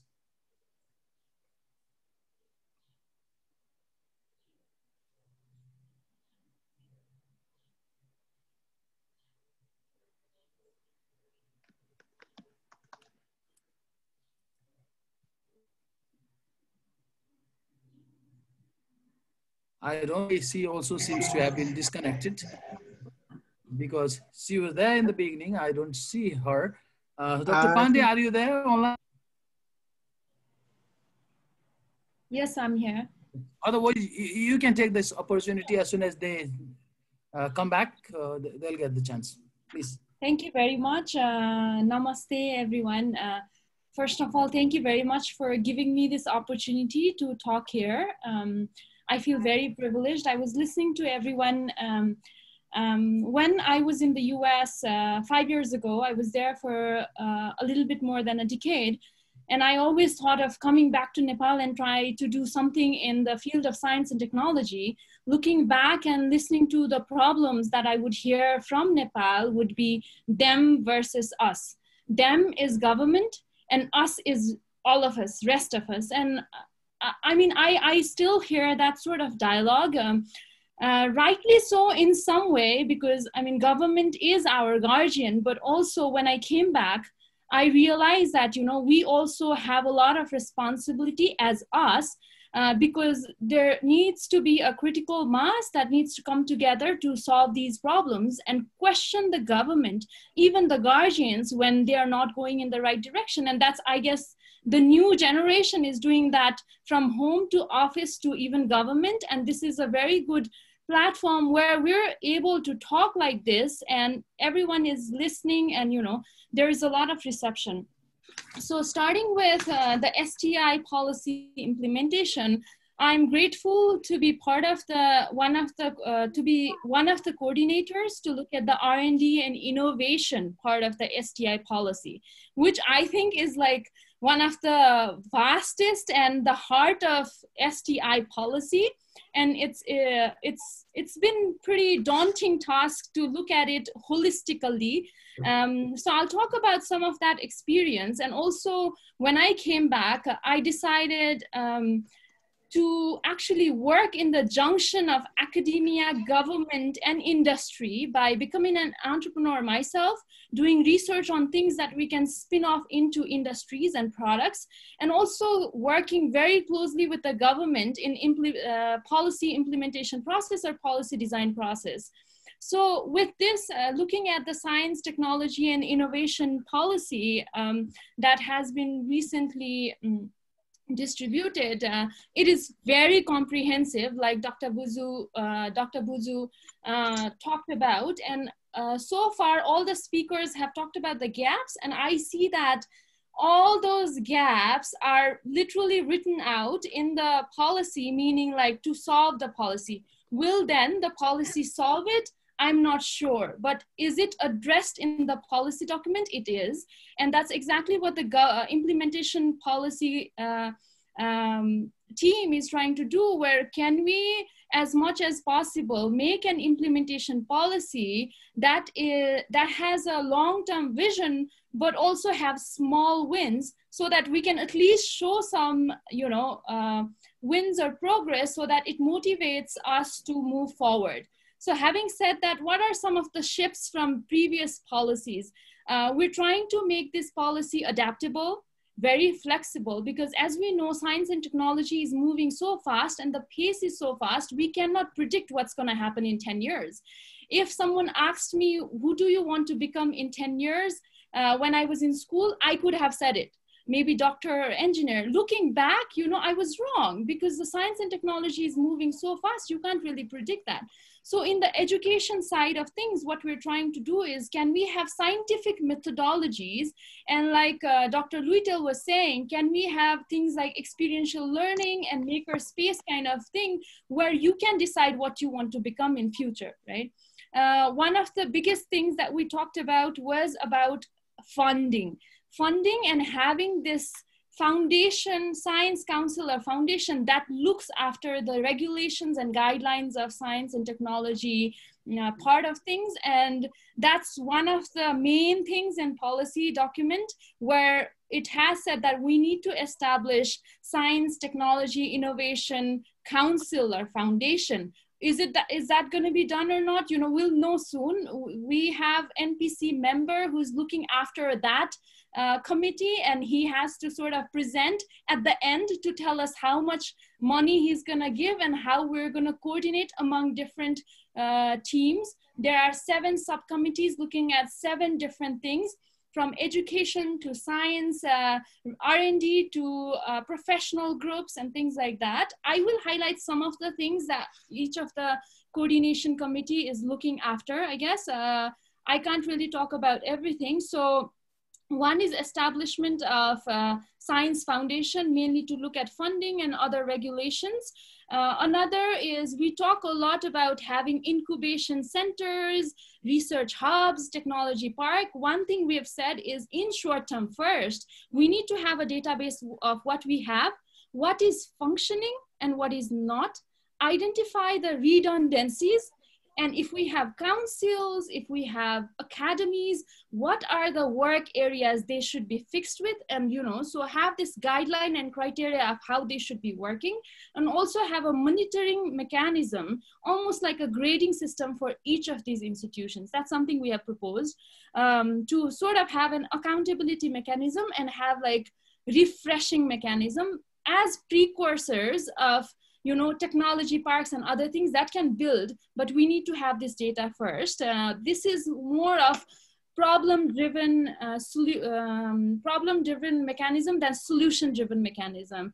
Another is scientific methodology of teaching, scientific way uh, of thinking in classrooms. Not everyone wants to go into the field of science, but everyone should have those 21st century skills. Mostly scientists are trained for that, critical thinking, you know, uh, anal analytical thinking and things like that. So, you know, everyone could have that.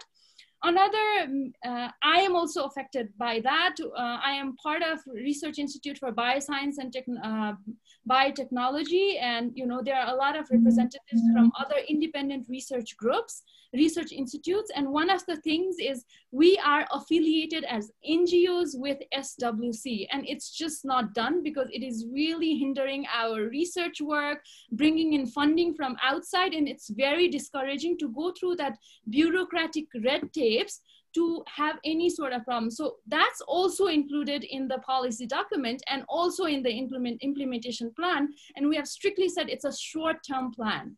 Um, another is uh, expediting reviews of laws and policies for emerging and advanced technology. By the time we pass any new law, that that uh, you know that uh, technology will be old already right now if we go like this. And Dr. Giri was also mentioning that to pass something as simple as what he mentioned, it took four months, you know, and by that time, technology will be passing us. And in this fourth uh, industrial revolution, if we do not catch it, we'll be missing every industrial revolution, like first, second, third, and fourth is special for us because we are not. Can I interrupt you a little bit because we have to we have to go for the second round of yes, sir, and we have very little time left.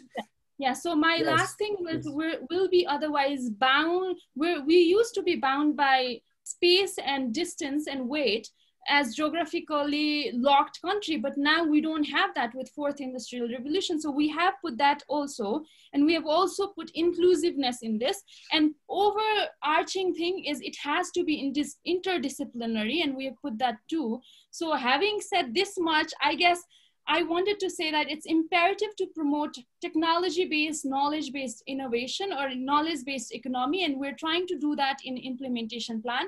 I'm only one of the person that would put in the document, and then implementation part is on the government, and we'll try to nudge our best to do that. Thank you very much. Sorry for.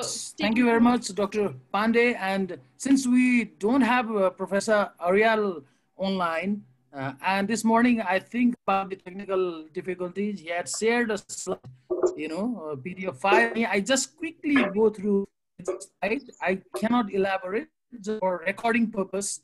So he has uh, given a slide on our university and STI policy. Uh, is, is, that okay? Uh, session chair, sir. I, I, just briefly, you know, move on this uh, slides shared by Professor Aryal. So uh, he mainly talks about the universities in Nepal. You can see a lot of uh, universities profile, the world ranking, uh, similarly, uh, you know, the achievements.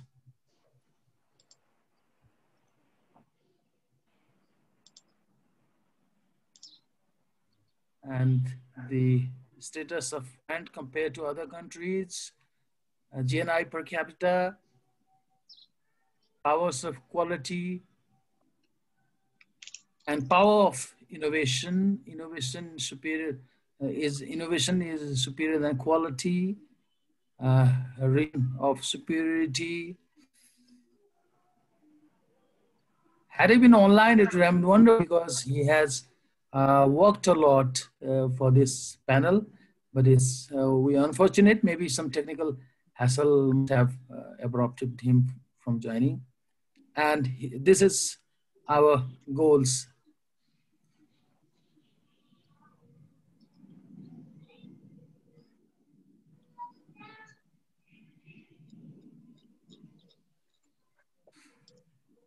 this is all about the presentation I think he wanted to share in the panel. Uh, I'm extremely sorry I couldn't do justice to his slide, but just I wanted to keep it on record that he had uh, to present in, in this forum. Uh, having heard three panelists, uh, sorry, uh, three panelists, now I, I, move back to the first panelist, Dr. Ambika Adhikari, sir. Uh, I have witnessed your enthusiasm to collaborate with the institution and empower its capacity with your individual effort. Now, since you are advisor of NRNA, it's a big institution because you know members nepalese diaspora are scattered all over the globe. They are in, in wonderful position Rod. so uh, what can be done through nrna uh, for making implementation of our sti policy more smooth and more effective? So as, as a team yeah. work. So i, want to pick, you know. that, thank you thank you. That's a, that's a wonderful statement. I think NRNA it's the last couple days that we are seeing, NRNA has also has come a long way. Uh, the diaspora group right now is a very strong and able and willing partner of development with uh, with Nepal. So it is not just a small number. I remember that when we were young, we used to be able to know and count the number of people who leave for studies to US, Canada, Australia. But now we are on the same team. We can talk like Dr. Pratibha Pandey was saying, geographically the space have, have been melded, the times have been melded, and with the World Wide Web, our brains are connected. So there's a lot that the diaspora can do. if we look at the history of many of the countries that have done well, countries like Korea, Taiwan, or even China, Singapore, Ireland, and so on, the diaspora has been able to contribute heavily into their development because when you go out and you have an opportunity to look at the world-class science and technology, there's something you want to give back to your country. Uh, the diasporas are in a good situation. Uh, it helps because you are in a position to understand how the world-class science and technology dynamics is going on, but you also have in your memory, just like for myself, walking the hills of Bhojpur for three days with barefoot. So those things are in our in our system, in our DNA, that we know how the Nepal Nepalese culture was, how difficult and how problematic some of the underdevelopment was, and then how life could be improved. So those are the kind of incentives utilizing the laws of science and technology, laws of physics and chemistry in making people's life easier is something that is now kind of, you know, we can see. The other point that I would make is the basic education that we do in Nepal, although it's a little bit of a rote learning, the critical thinking like Dr. Pandey and, and Professor Luitel was saying is still limited but still the structure of the basic education in Nepal is pretty sound. That you can see how the medical doctors, the engineers that we taught in Pulchok and many other engineering colleges, the people who've done physics like yourself from Tribhuvan University, they are the people who actually manage a lot of things with Intel, people who work in NASA, people who work with many of the large governmental organizations in some of the most developed countries in the world, and they have made a name for themselves. So basically the proof is it was just the system of not being able to utilize that level of education that is hurting our society in Nepal. It's not any problem with the basic education that people have. Once you expand that, once you provide the opportunity to the same people, they have been able to prove themselves uh, uh, as, as good as anyone else. Actually, sometimes people, it's kind of very funny when people make a remark, uh, even in the US, when you have your colleagues and you meet with them, and they say, "Oh, looks like you guys had a very good uh, basic education," because you know there's still a problem here in physics and maths and so on. Then it's very funny for us because you know, a person like myself, he started from fifth grade, and we were doing the um, uh, writing in the dust and so on. So we have a lot of things going. As a matter of fact, in the, the coming century, the 21st century, I think developing countries like ours, like Nepal and uh, places in Africa and places in South Asia are the land of opportunity. A lot of things are going to happen. The base is so low that improving on it, like many of you are doing, is, is something that is going to be very exciting. So I would only put a couple things. One, once again, we make the education of science and technology glamorous, how exciting the world is, how important the information is. People like, you know, when, when I read Carl Sagan in 1980, that really opened up my eyes that look at science. It can really explain the world. It can explain the cosmos. It can explain all the things that we experience in the world. That's the type of excitement and education that I think we can insert in science and technology in Nepal. It's not, it's a, it's not that it's a hard subject, it's a dry subject. It's not. It connects with the day-to-day world uh, that we do, and our basic education system is not all that bad. All we need to do is reconnect, like Dr. Bhuju was saying, with the industry and with the commercial sector and, uh, you know, the policies in Nepal, we do have a lot of good policies, but again, the proof is on how it can be implemented. And Dr. Dhungel, like you're saying, many of us in the diaspora, I work with you and I work with NAST and Institute of Engineering when I was managing the USAID project and clean energy. There are lots of opportunities outside that we can collaborate with Nepal. There's a lot of mutual learning we can do between the Nepalese uh, groups and the diaspora groups. And these kind of uh, associations and platforms like NRNA, and with this digital technology, the way that we are discussing all of this, that really helps. And it proves that whether you live in Phoenix or Toronto or Pokhara or Jumla, you can still be connected to the same level of knowledge and philosophy. Thank you so much, Dr. Dhungel. Thank you, uh, sir, for uh, very encouraging words uh, and uh, very optimistic view about development of technology in Nepal uh, general and implementation of STI policy in particular. Now uh, I see Dr. Anandita Bhadra online. So I think it'll be unfair not to give her a chance. So Dr. Bhadra, uh, can you hear? Uh, am I audible? Uh, yes, you're yes. audible, absolutely. And we don't have much time. We're running short of time, so within uh, maximum of uh, four to five minutes, can you wrap up your free opinion? But basically, yeah, I want please to give question. me five minutes. I'm really sorry. I had a major crash here, so. Uh, okay, please go ahead without losing any time. Please. Yeah, right. So um, I will be very brief. So I represent here the Global Young Academy and uh, also the Indian National Young Academy of Science. And uh, I will uh, give a very brief uh, idea of uh, what Uttam asked me to talk about, science policy implementation challenges and prospects. So when we talk about uh, policy of any kind, we are typically talking about top-down approach most of the time where we have uh, policymakers comprised mostly of politicians and uh, bureaucrats uh, with a slight uh, dif difference in levels who are working together.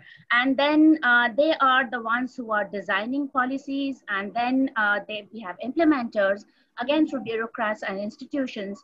And then the stakeholders who are actually using the outputs uh, at the level of institutions, which comprise of people like us, the researchers, our students, and of course, members of the public.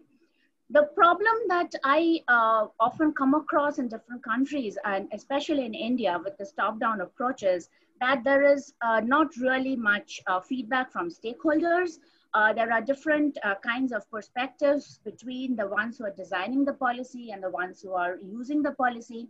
And uh, often there is this one size fits all approach, which is obviously not true when you come to the different kinds of stakeholders which are going to be at the receiving end of the policy. And often there is a lack of implementation flexibility because of which the stakeholders are the ones who are maximally getting uh, uh, disrupted. And it is often people who are the young researchers and students who de- uh, then face maximum issues with this. And in addition to this, there is lack of communication, lack of uh, media interests, especially when it comes to science and technology, especially in the developing countries like us. Now, uh, what would have been a better approach, obviously, is that everybody talks to each other and people work together. There is enough provision for flexibility, inclusiveness, and diversity. And there is ample feedback from stakeholders there's communication between the different parties and there is engagement of the public media system where different stakeholders can interact with each other and uh, implement the system more flexibly. Uh, I will give you uh, the different levels in which inclusivity and diversity are missing when it comes to international uh, levels of uh, science and technology policy or academic uh, policy implementation. Of course, we talk a lot about uh, the lack of representation of women in positions of administration in academia, especially, and uh, the the uh, you know the leaky pipeline where women start off at the same ratio with men when it comes to schools, and then gradually as we, as we go higher up the pyramid, we fall off. Uh, of course, there is this huge issue of Black Lives Matter movement going on, but with the Black Lives Matter movement, there is also, there is a lot of talk about uh, racial uh, discrimination at different levels. It's not just Black people, it's racial discrimination at multiple levels. There is lack of representation when it comes to different regions of the world. As you see in this graph, uh, data showing research outputs from the different regions of the countries and uh, lack of representation across disciplines, even in the sciences. So when you put all of that together, at another level, there is this huge diverse, uh, you know, discrimination that is now coming up between applied sciences and basic sciences, whether governments will fund blue skies research or there is this huge thrust across the globe on funding only applied research. And we as scientists understand very well that only applied research funding will not take science very far. So there is discrimination, there is uh, lack of diversity at multiple levels, and this needs to be uh, addressed at the level of policy making, as well as at the level of implementation. So how do we assess excellence when it comes to the scientific community? Again, we have this one size fits all approach. Uh, we forget that diversity matters. We forget that different disciplines need different ways of assessment of excellence. We need, uh, forget that uh, there are matrices which often do not really look at excellence, but just look at quantity. So there is this quantity versus quality debate which is going on across the world. So we need assessment which looks into diversity, which looks into uh, Dr. Bhadra, you have uh, hardly one minute left, please. Yes, I'm just wrapping up. I have one more slide. And so uh, I will give you the example of the Global Young Academy where we assess excellence uh, when we select members. We have 400 to 500 applications and we put in a lot of time and effort over months to come up with 40 selected members and we have a very, very global representation. In spite of that, we are always asking each other, are we truly global in spite of having diversity of disciplines, gender, uh, races, and 86 countries represented in our membership as of now in India right now, if you can, if you're interested, please look up. We are having a discussion of science, technology, innovation policy. And this is where uh, the government has now finally started taking in feedback from stakeholders. Only time will tell whether this is going to be a very fruitful process at the end of implementation of this policy. So thank you for your time and I'm really sorry for the technical glitch. Thank you. Anyway, after all, you would make it. Uh, so that's great. Now I go back to uh, Professor Luitel. Just a, you know, one minute question uh, that you have to answer. Uh, like you talked about maker space, non-ordinary science room will work for the education promotion in the country. And that is the uh, policy, education, STI policies, main agenda. So how difficult or how could you ease to make STEM education possible in Nepal? So can you share two bullet points? Okay, thank you. thank you very much. If you uh, just to share one slide, one just one slide, I think. Please that, go ahead. Go ahead. Yeah, that will make uh, better. I think you know uh, because I have four slides. Um, my kind of thinking is that you know, I mean, it's not just maker space. It's the perspective that we would like to, you know, we, we should be clear about science. What uh, Luitel sir, I, I want uh, permission from uh, Dr. Hemraj Sharma.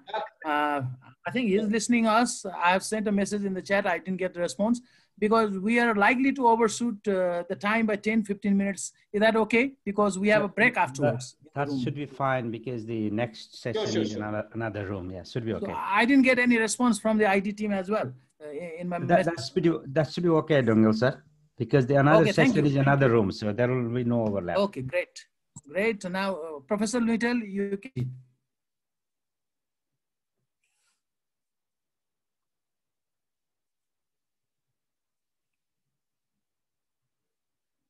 Balchandra sir, please go ahead. I'm, I'm here, don't yes. worry.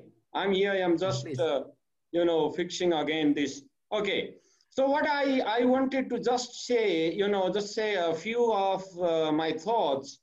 Uh, one is that we need to shift our perspective from body of knowledge to more of activity. You know, some hundred years back, John Dewey, educationist John Dewey said that we are not uh, preparing students for future, but we are preparing them for present, for now. If we consider this perspective, I think we better uh, educate, you know, students in science and technology.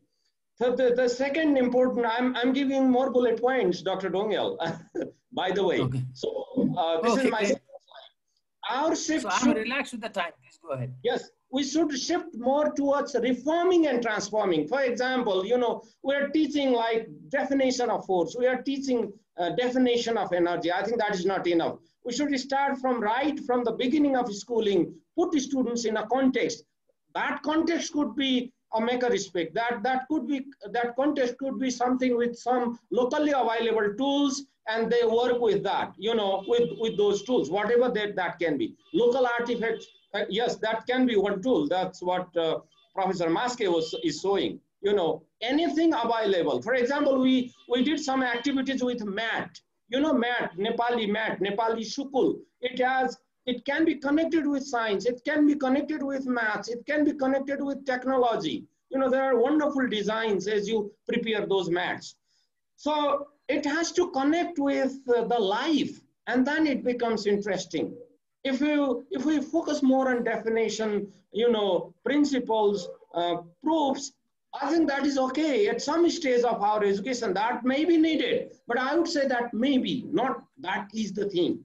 So science, math, technology is not only proof, you know, it's more than that. And the next is transforming. It has to connect with lives. You know, it has to connect with, for example, when we teach, use these mats and, and plants, probably we, we connect with the lives of people who work with these uh, mats and plants. Probably women, women work there. So, and then we, we under, use science to understand our system, your social system, uh, our, our fabric of life. So in that way, sometimes we tend to think that culture is hurdle for us. Probably that way we reconstruct culture. Probably that is cultural revolution in a way. That is, I think, is a cultural transformation in a way. So science can be an agenda for cultural reconstruction from that perspective. So, you know, if we are to produce a better, uh, you know, better cadre for STI, science, technology, innovation, I use the word cadre, then we need, we need to actually work in curriculum. We need to work with teachers, professors, uh, and we need to work with leadership. They need a, need a vision. It's not that science happens one day. It doesn't, uh, you know, mathematical, scientific think, thinking takes place a day. We need a setup. We need to start from somewhere. I agree with uh, Dr. Pandey, you know, uh, who said that it's not just the government versus us. Probably we start working as school teachers. For example, I work with science and math teachers. I have around, you know, 50 science and math teachers. I work with them. And, and once they become leaders in their community, I think they begin, begin to improve the system where, wherever they work. So this is the kind of framework. And STI cadre, what do we mean by STI cadre? what they do, uh, you know, how, what can we see in our children? Do we see definitions? Definitions, you know, being able to produce definitions or able to prove theorems, what we are, we are looking in them.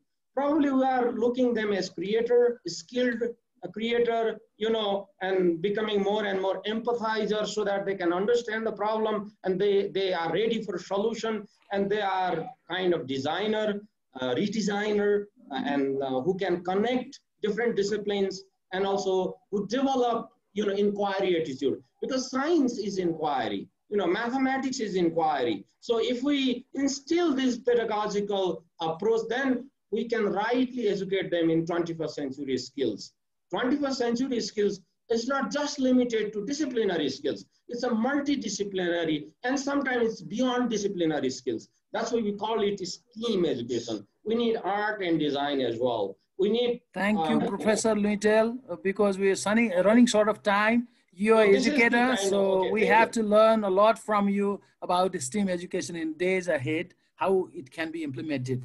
So much. Uh I uh, request you to, you know, stop your presentation sure, sure, and sure. move forward to Dr. Pratibha Pandey.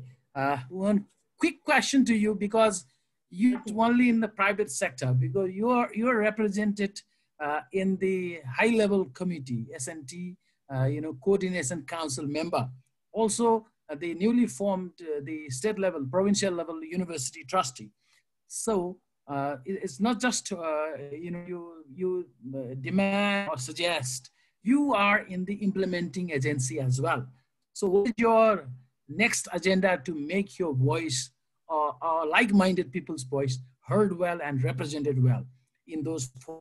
So could you just say uh, in two bullet points, your opinion agenda? I'll try to do that, sir. Thank you very much yeah. uh, for the question. That's a very good question. I have been thinking about this too. I took this class, uh, 15 weeks class at Harvard that talked about, it's a leadership class and it talked about how to implement uh, um, in, you know, the different policies in uh, fragile states, fragile states like ours. And there were three A's, um, acceptance, ability, and authority. So I feel like I'm working in the intersection of acceptance, authority, and ability. And I, I plan to use all three A's. What I mean by that is representing private sector as an entrepreneur myself. I'm very much engaged and rooted to that community. As a researcher, I'm rooted to academic committee as well, uh, meaning actively involved and also as an implementation uh, committee member with the government, I'm rooted there too.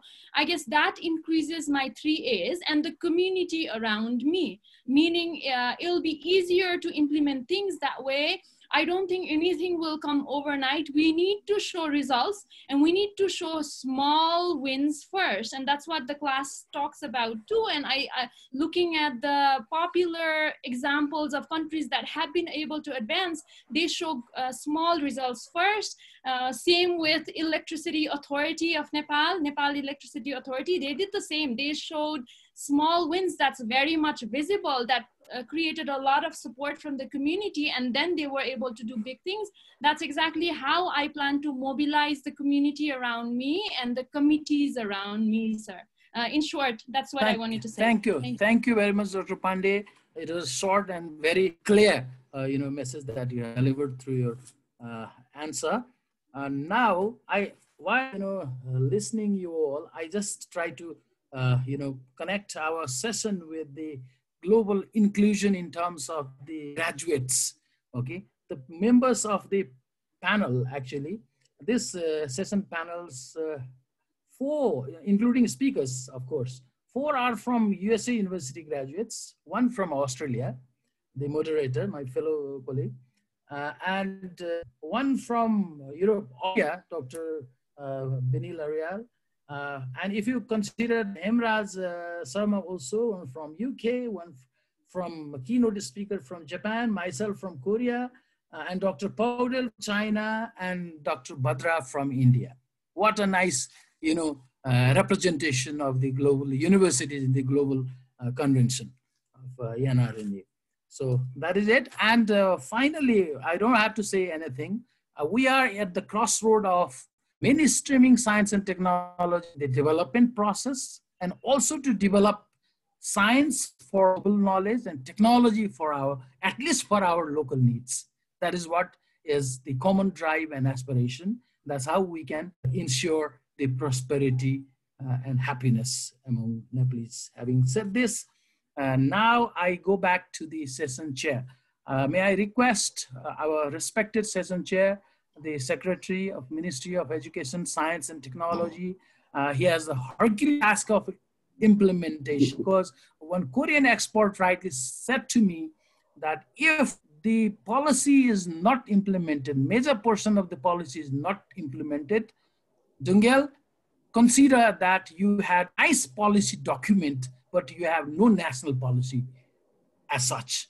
So I, I, I took it very seriously and uh, in this uh, juncture, he has the Herculean task of making it possible uh, in his career, himself being a scientist engineer. So, uh, Rama, the session chair, may I request you to take the floor and conclude with your, uh, you know, concluding remarks.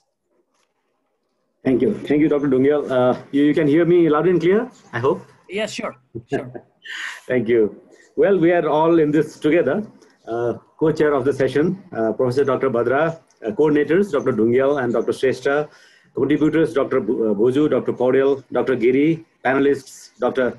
Adhikari, Dr. Aryal, Dr. Luitel, Dr. Pandey, NRNA General Secretary, Dr. Sharma, my brother, and uh, all other uh, participants uh, in the program. Actually, I am honored to have you all uh, in this session with me today. Uh, like, like Dr. Dhungel just noted, we have a very nice mix from all the different uh, universities all around the world, and you know, uh, we I think uh, you have all made very valuable contributions to the program today. but before before I move on to today's um, today's um, points, I think it's my duty also to address the Nepali diaspora. Uh, the contribution of Nepali diaspora is very important for Nepal's uh, socio-economic development. It is not just the financial or capital resources that are important, uh, the mobilization of uh, knowledge and skill is equally important, critical. So uh, in terms of Nepal's uh, science, technology, innovation policy, the policy envisions to engage all Nepalis uh, within and outside the country through brain circulation for technology development and transfer. The policy emphasizes the collaboration among national and international scientists, entrepreneurs, and investors as well. Uh, there is uh, tremendous potential in Nepal uh, with competitive advantages in water, mineral, forest resources, agriculture, and tourism, and so on. Uh, NRNs have acquired vast knowledge and they have interacted with modern markets and value chains. They have witnessed some of the fastest transformation in the countries they reside. Therefore, transferring their knowledge and skills to Nepal will be invaluable to meet the country's development challenges be it in science technology or in other areas. The NRNs also have a global network uh, which should be utilized to deliver tangible outcomes, not only through economic diplomacy, but also through science diplomacy. Uh, Nepal's STI policy has identified some several challenges. In particular, there is a need to make uh, scientific research and development sustainable and result oriented, and to connect such research and development with entrepreneurship, production, and productivity. Uh, as you, uh, as many of you already know, the vision of the policy is uh, that uh, the science and technology and innovation uh, is to be used for sustainable development and prosperity. The policy has made several promises. the prominent upon them, in my opinion, are three points. The first is the policy promises to make or create a conducive environment to make the field of science, technology, and innovation an attractive one in, in Nepal. The second point, uh, the policy promises to assign top priority to the field and ensure adequate investment in the field of science, technology, innovation. Finally, the, uh, the third point, in my opinion, uh, the policy makes a huge promise uh, that is to uh, strengthen and expand the relevant institutions, develop committed and competent human resources in the field. So you see, the policy is very comprehensive. We do have a great challenge in its implementation, and uh, therefore, uh, uh a lot of speculation is there. Even in today's presentations, uh, some of my uh, friends were actually, uh, you know, speculating that you know how this all all this can be made possible. So first and foremost, I think we need to create an sort of enabling environment for policy implementation. that is my view. So in terms of uh, the enabling environment, I have uh, actually uh, outlined you know, five elements. The first is to have a strategic plan. The second element, of course, you can easily guess is the investments. there was a question on you know, the certain percentage of the GDP being, being invested in science technology, and, and that is the question. The third element is, of course, uh, the institutional development. Uh, we need to restructure several uh, several institutions uh, right now, and also um, we may need to create several new institutions as well. The fourth element, uh, naturally, is the human resource plan. We need to have, you know, a human resource plan whereby we can increase the workforce in science technology uh, in line with the SDG goal 9.5, where the SDG goal 9.5 also uh, also uh, highlights that you know the human resource in, in the science technology should be increased. The fifth element, uh, I would say, is the coordination mechanism. Uh, the, when we say coordination, uh, it is not only within the government, but also you know, with other entities in, within Nepal and, and abroad. So with these five elements, I think we will, we will be able to create a sort of a conducive environment for policy implementation. Once these elements are in place, then there are certain major interventions that would be required for implementation of the policy.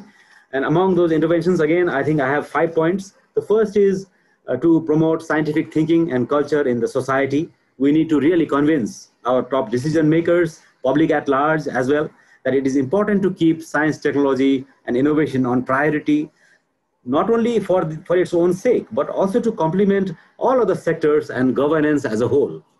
Then uh, it is also important at the same time to promote the development of, of innovative minds from the early stages, from, from the school years.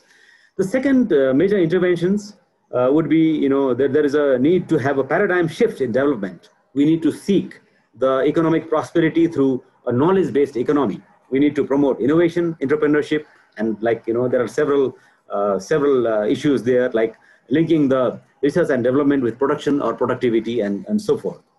The third major intervention, of course, uh, that we discussed uh, in some, some length and breadth today is the uh, quality of education in science technology, not only in schools, but also in university level. So, so that is the major intervention.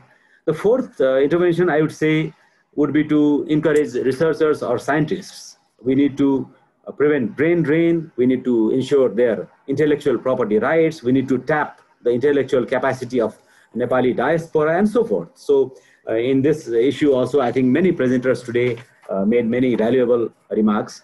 Uh, finally, uh, the one intervention that, that is very, very dear to me is to promote the growth of uh, professional societies. That is, that, that is something that I've been emphasizing from, uh, from the past one year, that we really need to promote the growth, growth of professional societies in Nepal because when we, you know, um, uh, when, we, when we promote these societies, naturally a lot of, a lot of uh, uh, things take place because uh, in the professional societies, we have scientists which, which are in the government, we have, they are in the academia, they're in the private sector, they are abroad. So, so, so we can have a nice coordination. So unless and until we uh, promote uh, the professional societies, it is very hard to promote science technology development in Nepal. Now, uh, once these elements uh, were put together, we could uh, we could thought we thought that we could conveniently work on these categories, and we have put together several subcommittees who are now actively working to prepare action plans uh, with possible activities and projects that can be uh, you know that can help implement the policy to a great extent. Many of the committee uh, members, coordinators are with us today in this in this meeting. Uh, if, if you allow me in a couple of minutes, I'll just highlight, you know, uh, certain game changer projects or activities or institutional structures that have been suggested, proposed so far in, in the discussions. The first is the, uh, I think today also uh, Dr. Pandey and others, uh, other friends have suggested this. we have, um, it has been proposed to establish a national, national research council or a science technology innovation foundation uh, these, uh, you know, these agencies could could facilitate the um, several uh, research organizations in the private sector. They could also administer administer a research and development fund if, if such a fund becomes you know possible. So basically, a council or a foundation is deemed necessary uh, for that purpose, we may need to promulgate some law or amend the present laws uh, as well. The second game changer project um, uh, or activity that has been proposed is the uh, you know establishment or restructuring of the innovation ecosystem. Uh, you know, like there is a kind of a public-private partnership required. We need to really develop platforms for young innovators. We need to develop innovation hubs. We need to scale up innovation for production of value-added goods and so forth. So, uh, the so kind of innovation ecosystem is is needed. Another uh, suggestion is uh, uh, to develop research centers as you know centers centers of excellence in priority areas.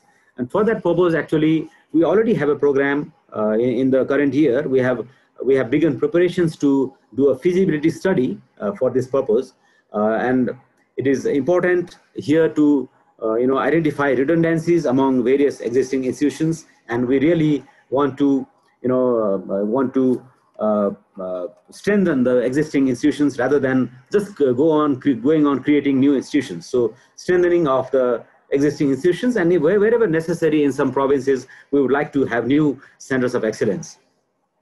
Another, um, another suggestion that, has, uh, uh, that is uh, very important is the development of a multidisciplinary research center and accreditation lab. And on this also we are doing some work. We have, we have started to prepare a uh, uh, plan on this one. Another, another suggestion is establishment of technology parks. And similarly, there are suggestions for the promotion of industrial internship-based uh, technical education, development of incubation centers, in incentives for industries to invest in R&D, uh, support research and commercialization of indigenous, indigenous uh, knowledge-based products, and so on. Uh, finally, there is this suggestion on uh, intellectual property protection policies and patent provisions and so forth. And I already mentioned the uh, supporting professional societies and researchers as one of the uh, one of the suggestions. And I think uh, on all these elements, the uh, you know keynote speaker today, the presenters and uh, panelists have contributed greatly to further consolidate and improve these ideas that have been generated so far even though I have tried to make a note of your valuable thoughts and views, if I try to summarize those views, I think it will take a long time. Also, I cannot do full justice, so I'll skip that part and just try to conclude the session, if you allow me. in conclusion, I wish to thank uh, all the coordinators, the co-chair of the session, all the presenters, panelists, also the participants and the organizers today. Uh, I wish to extend my thanks to all the subcommittee uh, members, coordinators who are uh, actively working to prepare the action plans. Uh, tirelessly, they are working. the STI policy should not be viewed just as a government document. Rather, it is a national document. We all own this document rather than trying to judge how the government or the ministry implements it. I think I urge everyone to come forward and contribute. Now is the time as we are uh, preparing a strategic plan to implement this policy. We need all the help that you can uh, possibly extend. I take this opportunity to extend my greetings to uh, Nepalis in the country and in the diaspora for the upcoming festivals of Dasai, Tihar, Nepal Sambat, uh, Chhat Parva, and so on. My best wishes to Nepalis home and abroad. May you all enjoy a COVID-free festival and New Year. And with that, I think I would like to conclude this session. Uh, I think we have a very we have had very valuable uh, discussions, uh, which will be which will go a long way to uh, to finalize our uh, action plan uh, for the policy implementation. And I think we'll very soon we'll be able to see a document which will try to try to implement the policy to a great extent. thank you so much for being with us today. Thank you very much. Thank you. Thank you very much uh, for your insightful thoughts and uh, presenting the roadmap of the implementation of STI policy and uh, requesting on behalf of the most of the session and session coordinators, uh, we are grateful to you for accepting our request to chair the session and uh, give us valuable time and insights uh, on it. And on behalf of coordinators, once again, I, I'd like to thank the keynote speaker, invited speakers, panelists, and everybody who attended so sincerely. And last but not the least, very important person of this convention, Dr. Uh, Hemraj Sharma. Actually, uh, Professor Binil Aryal could not join us and is replaced. I'm replaced in a way, complemented by another physicist. Uh, we feel proud to say that is leading the convention. Dr. Hemraj Sharma is here to extend formal vote of thanks on behalf of the organizing committee. Uh, Dr. Sama, floor is yours now. Thank you. Uh, can you hear me now? Looks like yes, there's, sure. there's a problem with my internet. Uh, sorry for that one. Well, uh, thank you, uh, Dr. Dhungel and Dr. Uh, Shrestha for putting this wonderful session together. it has been a long journey when I met Dr. Dhungel and actually Dr. Sharma in January uh, about organizing uh, this session. Uh, well, there, there were lots of ups and downs because of the COVID, but finally we made it. It was very fruitful session. Thank you, Dr. Bhuju, for his tireless effort on the science and technology policy. actually, he was the he was a session chair of the last conference about the science and policy uh, technology, science and policy, science and technology policy. And then uh, we made lots of recommendation uh, in the first conference. And later when uh, he was drafting the uh, policy and he provided opportunity to us uh, to give our feedback. And I think those were implemented in the um, policy. And we will be happy to help to implement this uh, policy now. Uh, I like the Venn diagram. I think NRNA can be part of all three circles in the Venn diagram uh, from investment point of view, from uh, sharing the knowledge and so on.